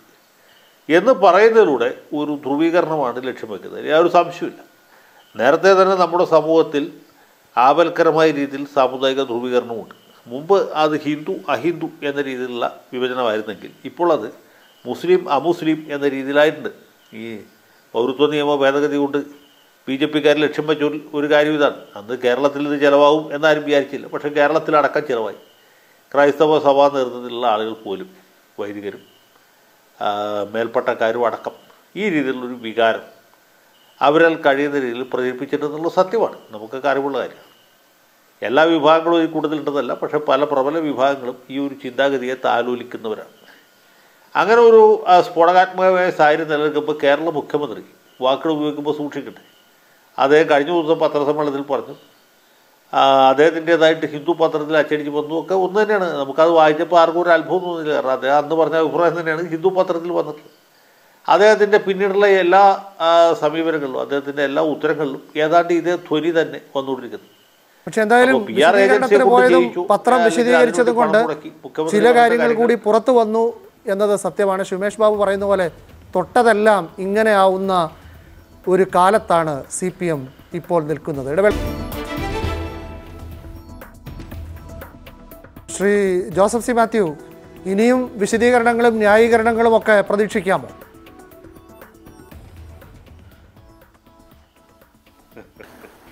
വിനു ഇങ്ങനെ അവരുടെ കനുകോലു ഞങ്ങളുടെ പവിത്രനും സുബ്രഹ്മണ്യനും എന്നൊക്കെയുള്ള രീതിയിൽ ഉള്ള വിശദീകരണം കൊണ്ട് തൃപ്ത തൃപ്തമാകാവുന്ന കാര്യങ്ങളല്ല ഇവർ പറയുന്നതെന്നുള്ളതാണ്. ഞാൻ നേരത്തെയും പറയാൻ വന്നത് ഇവിടെ ആർ എസ് എസിനോട് മൃദു സമീപനം പുലർത്തുന്നത് എന്ത് എന്നുള്ള ചോദ്യത്തിന് ഇവിടുത്തെ ദൃശ്യമാധ്യമങ്ങളോട് തന്നെ മുഖ്യമന്ത്രി പറഞ്ഞത് ചില കണക്കുകൾ പരിശോധിച്ചാൽ അതിൽ വ്യക്തത വരും എന്ന് പറഞ്ഞുകൊണ്ട് സ്വർണക്കടത്തിന്റെ അളവിനെക്കുറിച്ച് പറയുകയാണ്. അദ്ദേഹം പറഞ്ഞത് കഴിഞ്ഞ അഞ്ച് വർഷത്തിനിടയിൽ നൂറ്റി നാൽപ്പത്തിയേഴ് കിലോ സ്വർണം പോലീസ് പിടിച്ചതിൽ നൂറ്റി ഇരുപത്തിനാലോളം മലപ്പുറത്ത് നിന്നാണ്. അതുപോലെ ഹവാല പണത്തിന്റെ കാര്യത്തിലും ഏതാണ്ട് അങ്ങനെ എൺപത് എൺപത്തഞ്ച് ശതമാനത്തോളം കരിപ്പൂരിൽ നിന്നാണ്. ഇത് എന്ത് ചോദ്യത്തിനുള്ള മറുപടിയാണ്? ആർ എസ് എസിനോടുള്ള മൃദു സമീപനത്തെക്കുറിച്ചുള്ള ചോദ്യത്തിന് മറുപടിയായിട്ട് മലപ്പുറത്ത് നിന്ന് സ്വർണം പിടിച്ചതിന്റെ ഉത്തരം വരുന്നതിന്റെ പശ്ചാത്തലം എന്താണ്? അത് അദ്ദേഹം വിശദമാക്കേണ്ടതുണ്ട്. അത് അവിടെയാണ് ഹിന്ദുവിൽ പറഞ്ഞ ഇന്റർവ്യൂവിൽ അത് വിശദമായി തന്നെ അദ്ദേഹം പറയുന്നത്. ഞാൻ ഞാൻ ചോദിക്കുന്നത് മലപ്പുറത്തെക്കുറിച്ച് പറഞ്ഞു എന്നുള്ളതിനേക്കാൾ കൂടുതൽ അവിടെ നിന്ന് പിടിച്ചത് മുഴുവൻ മുസ്ലിങ്ങളിൽ നിന്നാണോ? അവിടെ നിന്ന് പിടിച്ചത് മുഴുവൻ മുസ്ലിം എക്സ്ട്രീമിസ്റ്റുകളിൽ നിന്നാണോ? അങ്ങനെ നാടിന് വിരുദ്ധമായ കേസുകൾ ചാർജ് ചെയ്യപ്പെട്ടിട്ടുണ്ടോ? ഇതെല്ലാം അദ്ദേഹം വ്യക്തമാക്കേണ്ട ചോദ്യമാണ്. മറിച്ച് അൻവറാണ് ഇത് ആദ്യം ഉന്നയിച്ചത്. സ്വർണക്കടത്തിലേക്ക് ചർച്ച ഇപ്പോൾ കൊണ്ടുപോയത് അൻവറാണ്. അൻവർ കൊണ്ടുപോകുമ്പോൾ അൻവറിന് മറുപടി എന്നുള്ള രീതിയിൽ ഇതൊരു സ്വർണക്കടത്ത് ടീം മറ്റേ കടത്ത് ടീമിനെതിരായിട്ട് നടത്തുന്നതാണ് എന്നാണ് അദ്ദേഹം പറയാൻ ശ്രമിക്കുന്നതെങ്കിൽ അത് അങ്ങനെ തന്നെ പറയണം. കാരണം ഇവർക്ക് മാത്രമേ അറിയത്തുള്ളൂ. ഇവരെല്ലാം ഒന്നിച്ച് നിന്ന് നിന്നവരാണല്ലോ. ഇപ്പോൾ സ്വയം പരിചയപ്പെടുത്താൻ ഇറങ്ങിയതാണെങ്കിൽ നമുക്ക് സന്തോഷം. അത് പറയട്ടെ. എന്തുകൊണ്ടാണ് ഈ നടപടി എടുക്കാതിരുന്നത് എന്നൊക്കെയുള്ള ചോദ്യം വളരെ പ്രസക്തമായിട്ട് എന്റെ മുന്നിൽ വരും. പിന്നെ നമ്മൾ മനസ്സിലാക്കേണ്ടത് ഇത് ദേശീയ തലത്തിൽ ഉപയോഗിക്കാൻ പോകുന്നത് എങ്ങനെയാണ്? രാജ്യത്തെ മുപ്പത്തൊൻപത് എയർപോർട്ടുകളിൽ സ്വർണക്കടത്ത് തീവ്രമായി നടക്കുന്നു എന്ന് കസ്റ്റംസും ഡി ആർ ഐ മാർക്ക് ചെയ്തിട്ടുണ്ട്. അതിൽ കേരളത്തിലെ നാല് ഇന്റർനാഷണൽ നാല് എയർപോർട്ടുകളും വരും. ആദ്യത്തെ പത്തെണ്ണത്തിൽ കേരളത്തിലെ മൂന്ന് എയർപോർട്ടുകൾ വരും. ഇത് ഇത് മുഖ്യമന്ത്രി പറയാത്തൊരു കാര്യം അഞ്ച് വർഷത്തെ കണക്കാണല്ലോ അദ്ദേഹം പറയുന്നത്. ആദ്യത്തെ രണ്ട് വർഷം ഇത് മൂന്ന് വർഷത്തെ കണക്കാണ് യഥാർത്ഥത്തിൽ പറയുന്നത്. ആദ്യത്തെ രണ്ട് വർഷവും കൂടി രണ്ടായിരത്തി ഇരുപതിലും ഇരുപത്തിയൊന്നിലും കൂടി തൊള്ളായിരം ഗ്രാമേ വന്നിട്ടുള്ളൂ കേസ് മൂന്ന് കേസേ വന്നിട്ടുള്ളൂ. അപ്പോൾ ഇതിലൊരു വലിയ വർധനവ് ഇവിടെ വന്നിട്ടുണ്ട്. നമ്മൾ നേരത്തെ സമയക്കുറവുകൊണ്ട് ഞാൻ ആവർത്തിക്കുന്നില്ല. അതിൽ നയപരമായി ഈ സർക്കാരിന്റെ തീരുമാനം കൊണ്ട് വന്നിട്ടുള്ള പ്രശ്നങ്ങളുണ്ടോ എന്നുള്ള ചോദ്യമുണ്ട്. അപ്പോൾ അതുകൊണ്ട് ഇത് ഈ ഈ ബി ജെ പിയോടുള്ള മൃദു സമീപനത്തിന്റെ ചോദ്യം വരുന്നിടത്ത് സ്വർണക്കടത്തിലേക്ക് ഡിസ്കഷൻ കൊണ്ടുപോവുകയും മലപ്പുറത്ത് നിന്നാണ് അത് പിടിച്ചതെന്ന് പറയുകയും ചെയ്യുന്നിടത്ത് മുഖ്യമന്ത്രി നടത്തിയ പരാമർശം യഥാർത്ഥത്തിൽ ഈ ഹിന്ദു പത്രത്തിൽ പറഞ്ഞതിനേക്കാൾ ഗൗരവതരമാണ്. അതിലുള്ള എല്ലാ കാര്യങ്ങളും അദ്ദേഹം അതിന്റെ തലേദിവസത്തെ പത്രസമ്മേളനത്തിൽ പറഞ്ഞു കഴിഞ്ഞതാണ്. എന്ന് മാത്രമല്ല ഇതിനെ ന്യായീകരിക്കുന്നവർ നിങ്ങൾ എം പി രാജേഷ് വരെയുള്ള നേതാക്കന്മാർ മന്ത്രിമാർ ഇന്ന് ഉച്ചവരെ ഇതിലൊരു തെറ്റുമില്ല. ഈ പറഞ്ഞതെല്ലാം വസ്തുതയാണ്. വസ്തുത പറയാതിരിക്കാൻ കഴിയുമോ എന്ന് ഇന്നലെ ചാനലുകളിൽ വന്ന പാർട്ടിയുടെ പ്രതിനിധികൾ ചോദിച്ചില്ലേ? അപ്പോൾ ഇവർക്കൊന്നും ഈ നയം അറിയില്ലേ? ഈ രാഷ്ട്രീയം അറിയില്ലേ? അതോ മുഖ്യമന്ത്രിയെ ന്യായീകരിക്കാൻ വേണ്ടി അതിനെ ന്യായീകരിക്കൽ മാത്രമാണ് രാഷ്ട്രീയമെന്ന് ഇവരും പരിചയപ്പെടുത്തുകയാണോ കേരളത്തിലെ ജനങ്ങളോട് മുഴുവൻ? അപ്പോൾ ഈ ചോദ്യങ്ങൾക്കെല്ലാം മറുപടി പറഞ്ഞുകൊണ്ട് മാത്രമേ മുന്നോട്ട് പോകാൻ ഒക്കൂ. അത് ഹിന്ദു പത്രത്തിന് ബാധ്യതയുണ്ട്. ഈ പി ആർ ഏജൻസിക്ക് ബാധ്യതയുണ്ട്. ആ പി ആർ ഏജൻസി ഒരു സ്വകാര്യ ഏജൻസിയാണ്. പക്ഷേ പി ആർ ഏജൻസിയാണ് ചെയ്തതെങ്കിൽ അവർക്കെതിരെ കേസ് കൊടുക്കാനുള്ള ബാധ്യത കേരള സർക്കാരിനുണ്ട്. ഞാൻ പ്രതിപക്ഷ നേതാവിനോട് അഭ്യർത്ഥിക്കുന്നത് റിട്ടേൺ ആയിട്ട് മുഖ്യമന്ത്രിക്ക് കത്ത് കൊടുക്കണം. കേരള മുഖ്യമന്ത്രിയുടെ വായിൽ ഇങ്ങനത്തെ വാക്കുകൾ ചൊരുകിയത് നമ്മുടെ കയ്യിൽ നിന്ന് പൈസ മേടിച്ചിട്ടുള്ള ഒരു പി ആർ ഏജൻസി ആണെങ്കിൽ ആ പി ആർ ഏജൻസിയുടെ ദുരുദ്ദേശത്തിനെതിരായിട്ട് കേസെടുക്കണമെന്ന് പറയണം. എടുക്കില്ല. മാത്രമല്ല ശ്രീ ജോസഫ് പറഞ്ഞ പോലെ ഹിന്ദു കാരണം ചെയ്യേണ്ടത് അവരുടെ കയ്യിൽ ഈ അഭിമുഖത്തിന്റെ ഓഡിയോ ഉണ്ടെങ്കിൽ അത് പുറത്തുവിടണം ഇനി അതല്ല പി ആർ ഏജൻസി എഴുതി കൊടുത്തു എന്നാണല്ലോ പറയുന്നത്. ഇക്കാര്യം ഉൾപ്പെടുത്താൻ എഴുതി കൊടുത്തു എന്നാണ്. ആ കത്തെങ്കിലും പുറത്തുവിടാൻ അവർ തയ്യാറാവണം. എന്നിട്ട് മതി പുരപ്പുറത്ത് കയറി ജേർണലിസം പഠിപ്പിക്കുന്ന ക്ലാസ്സുകൾ. ശ്രീ റജിമോൻ അവസാനത്തെ കമന്റ് വിനു ഇതിന്റെ അകത്ത് വളരെ അപകടകരമായ ഒരു സംഭവമുണ്ട് വിനു. ആർ എസ് എസിനോട് എന്താണ് സോഫ്റ്റ് കോർണർ എന്നുള്ളതായിരുന്നു ചോദ്യം. പക്ഷേ ആർ എസ് എസിനോട് സോഫ്റ്റ് കോർണർ പറയുന്നത് ആ ചോദ്യത്തിന് ഉത്തരമായിട്ട് എന്തിനാണ് മലപ്പുറം വലി വലിച്ചഴിക്കുന്നത്? എന്തിനാണ് ആന്റി സ്റ്റേറ്റ് എന്ന വാക്ക് കൊണ്ടുവരുന്നത്? എന്തിനാണ് ആന്റി നാഷണൽ എന്നുള്ള വാക്ക് കൊണ്ടുവരുന്നത്? എന്തിനാണ് ഗോൾഡ് സ്മഗ്ലിംഗ് ഹവാല എന്ന് പറഞ്ഞ വാക്കുകൾ കൊണ്ടുവരുന്നത്? ഒരു മുഖ്യമന്ത്രി അങ്ങനെ കൊണ്ടുവന്നു കഴിയുമ്പം ഈ നരേഷൻ വളരെയധികം വക്രീകരിക്കപ്പെടുക. അത് സാധാരണക്കാർക്ക് മനസ്സിലാവുന്ന രീതിയിൽ പറയാം. ഇവിടെ എന്ത് തെറ്റുകുറ്റങ്ങൾ നടന്നാലും പുറത്തുനിന്ന് വന്നവരാണ് ചെയ്യുന്നതെന്നുള്ള രീതിയിൽ. അതായത് ബേസിക്കലി അന്യ സംസ്ഥാന തൊഴിലാളികളാണെന്നുള്ളൊരു തെറ്റിദ്ധാരണ നമ്മുടെ മനസ്സിലെല്ലാം ഉണ്ട്. അതെങ്ങനെയാണെന്ന് ചോദിച്ചു കഴിഞ്ഞാൽ മൈഗ്രൻസ് ക്രിമിനൽസ് എന്ന് പറഞ്ഞ ടാഗ് എപ്പോഴും ഒരുമിച്ചാണ് ഉപയോഗിക്കുന്നത്. എന്ന് പറഞ്ഞ പോലെയാണ് ഒരു മുഖ്യമന്ത്രി പറയുകയാണ് ആർ എസ് എസിനോട് സോഫ്റ്റ് കോണ്ടർ എന്ന് ചോദിക്കുമ്പോൾ മലപ്പുറം ഗോൾഡ് സ്മഗ്ലിംഗ് ഹവാല ആന്റി സ്റ്റേറ്റ് ആന്റി നാഷൻ എന്ന് പറയാം. അപ്പോൾ അത് മൊത്തം അങ്ങനെ ഒരു നരേഷൻ ഇനി പിന്നെ ഇതിനകത്ത് മറ്റൊരു കാര്യമുണ്ട്. അഞ്ച് കൊല്ലം കൊണ്ട് നൂറ്റമ്പത് കിലോയുടെ കാര്യമാണ് മലപ്പുറത്ത് ഈ കാര്യം പറയുന്നത്. രണ്ടായിരത്തി പത്തൊമ്പത് രണ്ടായിരത്തി ഇരുപത് ഒരു കൊല്ലം കൊണ്ട് നൂറ്റി മുപ്പത്തെട്ട് കിലോ സ്വപ്ന സുരേഷ് തിരുവനന്തപുരത്ത് എയർപോർട്ടിൽ കൂടി ഇറക്കിക്കൊണ്ട് പോയിട്ടുണ്ട്. അന്ന് സ്വപ്ന സുരേഷ് ക്ലിഫ് ഹൗസിൽ നിന്ന് ഇറങ്ങാത്ത സമയമില്ലായിരുന്നു. അന്ന് സ്വപ്ന സുരേഷ് മുഖ്യമന്ത്രിയുടെ ഓഫീസിലെ പ്രിൻസിപ്പൽ സെക്രട്ടറിയുടെ കൂടത്തിലായിരുന്നു ജോലി ചെയ്തുകൊണ്ടിരുന്നത്. അപ്പോൾ ഈ നൂറ്റി മുപ്പത്തെട്ട് കിലോ ഇറങ്ങിയതിനകത്ത് സ്മഗ്ലിങ്ങും ഹവാലയും ടെററിസം ആന്റി സ്റ്റേറ്റും ആന്റി നാഷണലും അന്ന് മുഖ്യമന്ത്രിക്ക് തിരിച്ചറിയാൻ സാധിച്ചില്ലേ? ഇപ്പം മാത്രം എന്തിനാണ് ഇത് കൊണ്ടുപോയി മലപ്പുറത്ത് ടാഗ് ചെയ്യുന്നത്? പിന്നെ മറ്റൊരു കാര്യം. പത്രത്തിൽ ഞാനൊരു പ്രിന്റ് ജേർണലിസ്റ്റാണ് എന്റെ വീട്ടിലും ഹിന്ദു ഉണ്ട്. ഇന്ന് ഹിന്ദു മൂന്ന് അമ്പത്തേഴിന് ഓൺലൈനിൽ ഈ സാധനം അവർ റിമൂവ് ചെയ്തു. ആ പാരഗ്രാഫ് റിമൂവ് ചെയ്തു. പക്ഷേ എന്റെ വീട്ടിൽ ഇന്നലെ വന്ന സെപ്റ്റംബർ മുപ്പതിലെ പത്രത്തിൽ ഈ സാധനം ഉണ്ട്. ഹിന്ദുക്കാർ വന്ന് മായ്ക്കുമോ റബ്ബർ വെച്ചിട്ട്? വായിക്കാൻ പറ്റത്തില്ലല്ലോ. അതിന് ഞാൻ ഞങ്ങളെ പ്രിന്റ് ജേർണലിസ്റ്റുകളെ പഠിപ്പിച്ചിട്ടുള്ളത് ഇന്നത്തെ വാർത്ത നാളത്തെ ചരിത്രമാണ്. അതങ്ങനെയാണത് നോക്കുന്നത്. അപ്പോൾ വളരെ തെറ്റായ ഒരു നറേഷൻ മലപ്പുറംകാർ മൊത്തം ക്രിമിനൽസ് ആണെന്നുള്ള രീതിയിലെ നറേഷൻ ഒരു മുഖ്യമന്ത്രി ഒരു ഏജൻസി അങ്ങോട്ടാണ് പോയത്? മുഖ്യമന്ത്രിയാണ് ഹിന്ദുവിനോട് പോയി ചോദിച്ചത് ചോദിച്ചത്. ഒരു ഇന്റർവ്യൂ എടുക്കാമോ? ഞാൻ തരാമോ? കഷ്ടമെന്നേ പറയാനുള്ളൂ. ഹിന്ദു ഒരു സൗത്ത് ഇന്ത്യൻ ദിനപത്രമാണ്. കേരളത്തിൽ ഏറെ വായനക്കാരുള്ളതാണ്. ഹിന്ദുവിന്റെ തലപ്പത്തിരിക്കുന്നവരൊക്കെ കേരളവുമായി അടുത്ത ബന്ധം പുലർത്തുന്നവരാണ്. സി പി എമ്മുമായി അടുത്ത ബന്ധമുള്ളവരാണ്. അങ്ങനെ ഒരു പത്രത്തിൽ ഒരു ഇന്റർവ്യൂവിന് ഒരു ഏജൻസിയെ വെച്ച് ഇരന്നു വാങ്ങി. അത് എന്ന് കേൾക്കുന്നത് തന്നെ കേരളത്തിന് അപമാനമാണ്. ടൈം സ്ക്വയറിൽ പാകമാവാത്ത സ്യൂട്ട് വിട്ട് ഒരു ഇരുമ്പ് കസേരയിൽ ഇരുന്ന നമ്മുടെ മുഖ്യമന്ത്രി ഉണ്ടല്ലോ അതേപോലെയുള്ള ഒരു അല്പത്വമാണ് ഈ അഭിമുഖത്തിൽ കൂടി പ്രകടമാകുന്നത്. ന്യൂസ് അവസാനിക്കുന്നു. ഇനി ഞാനുണ്ടായി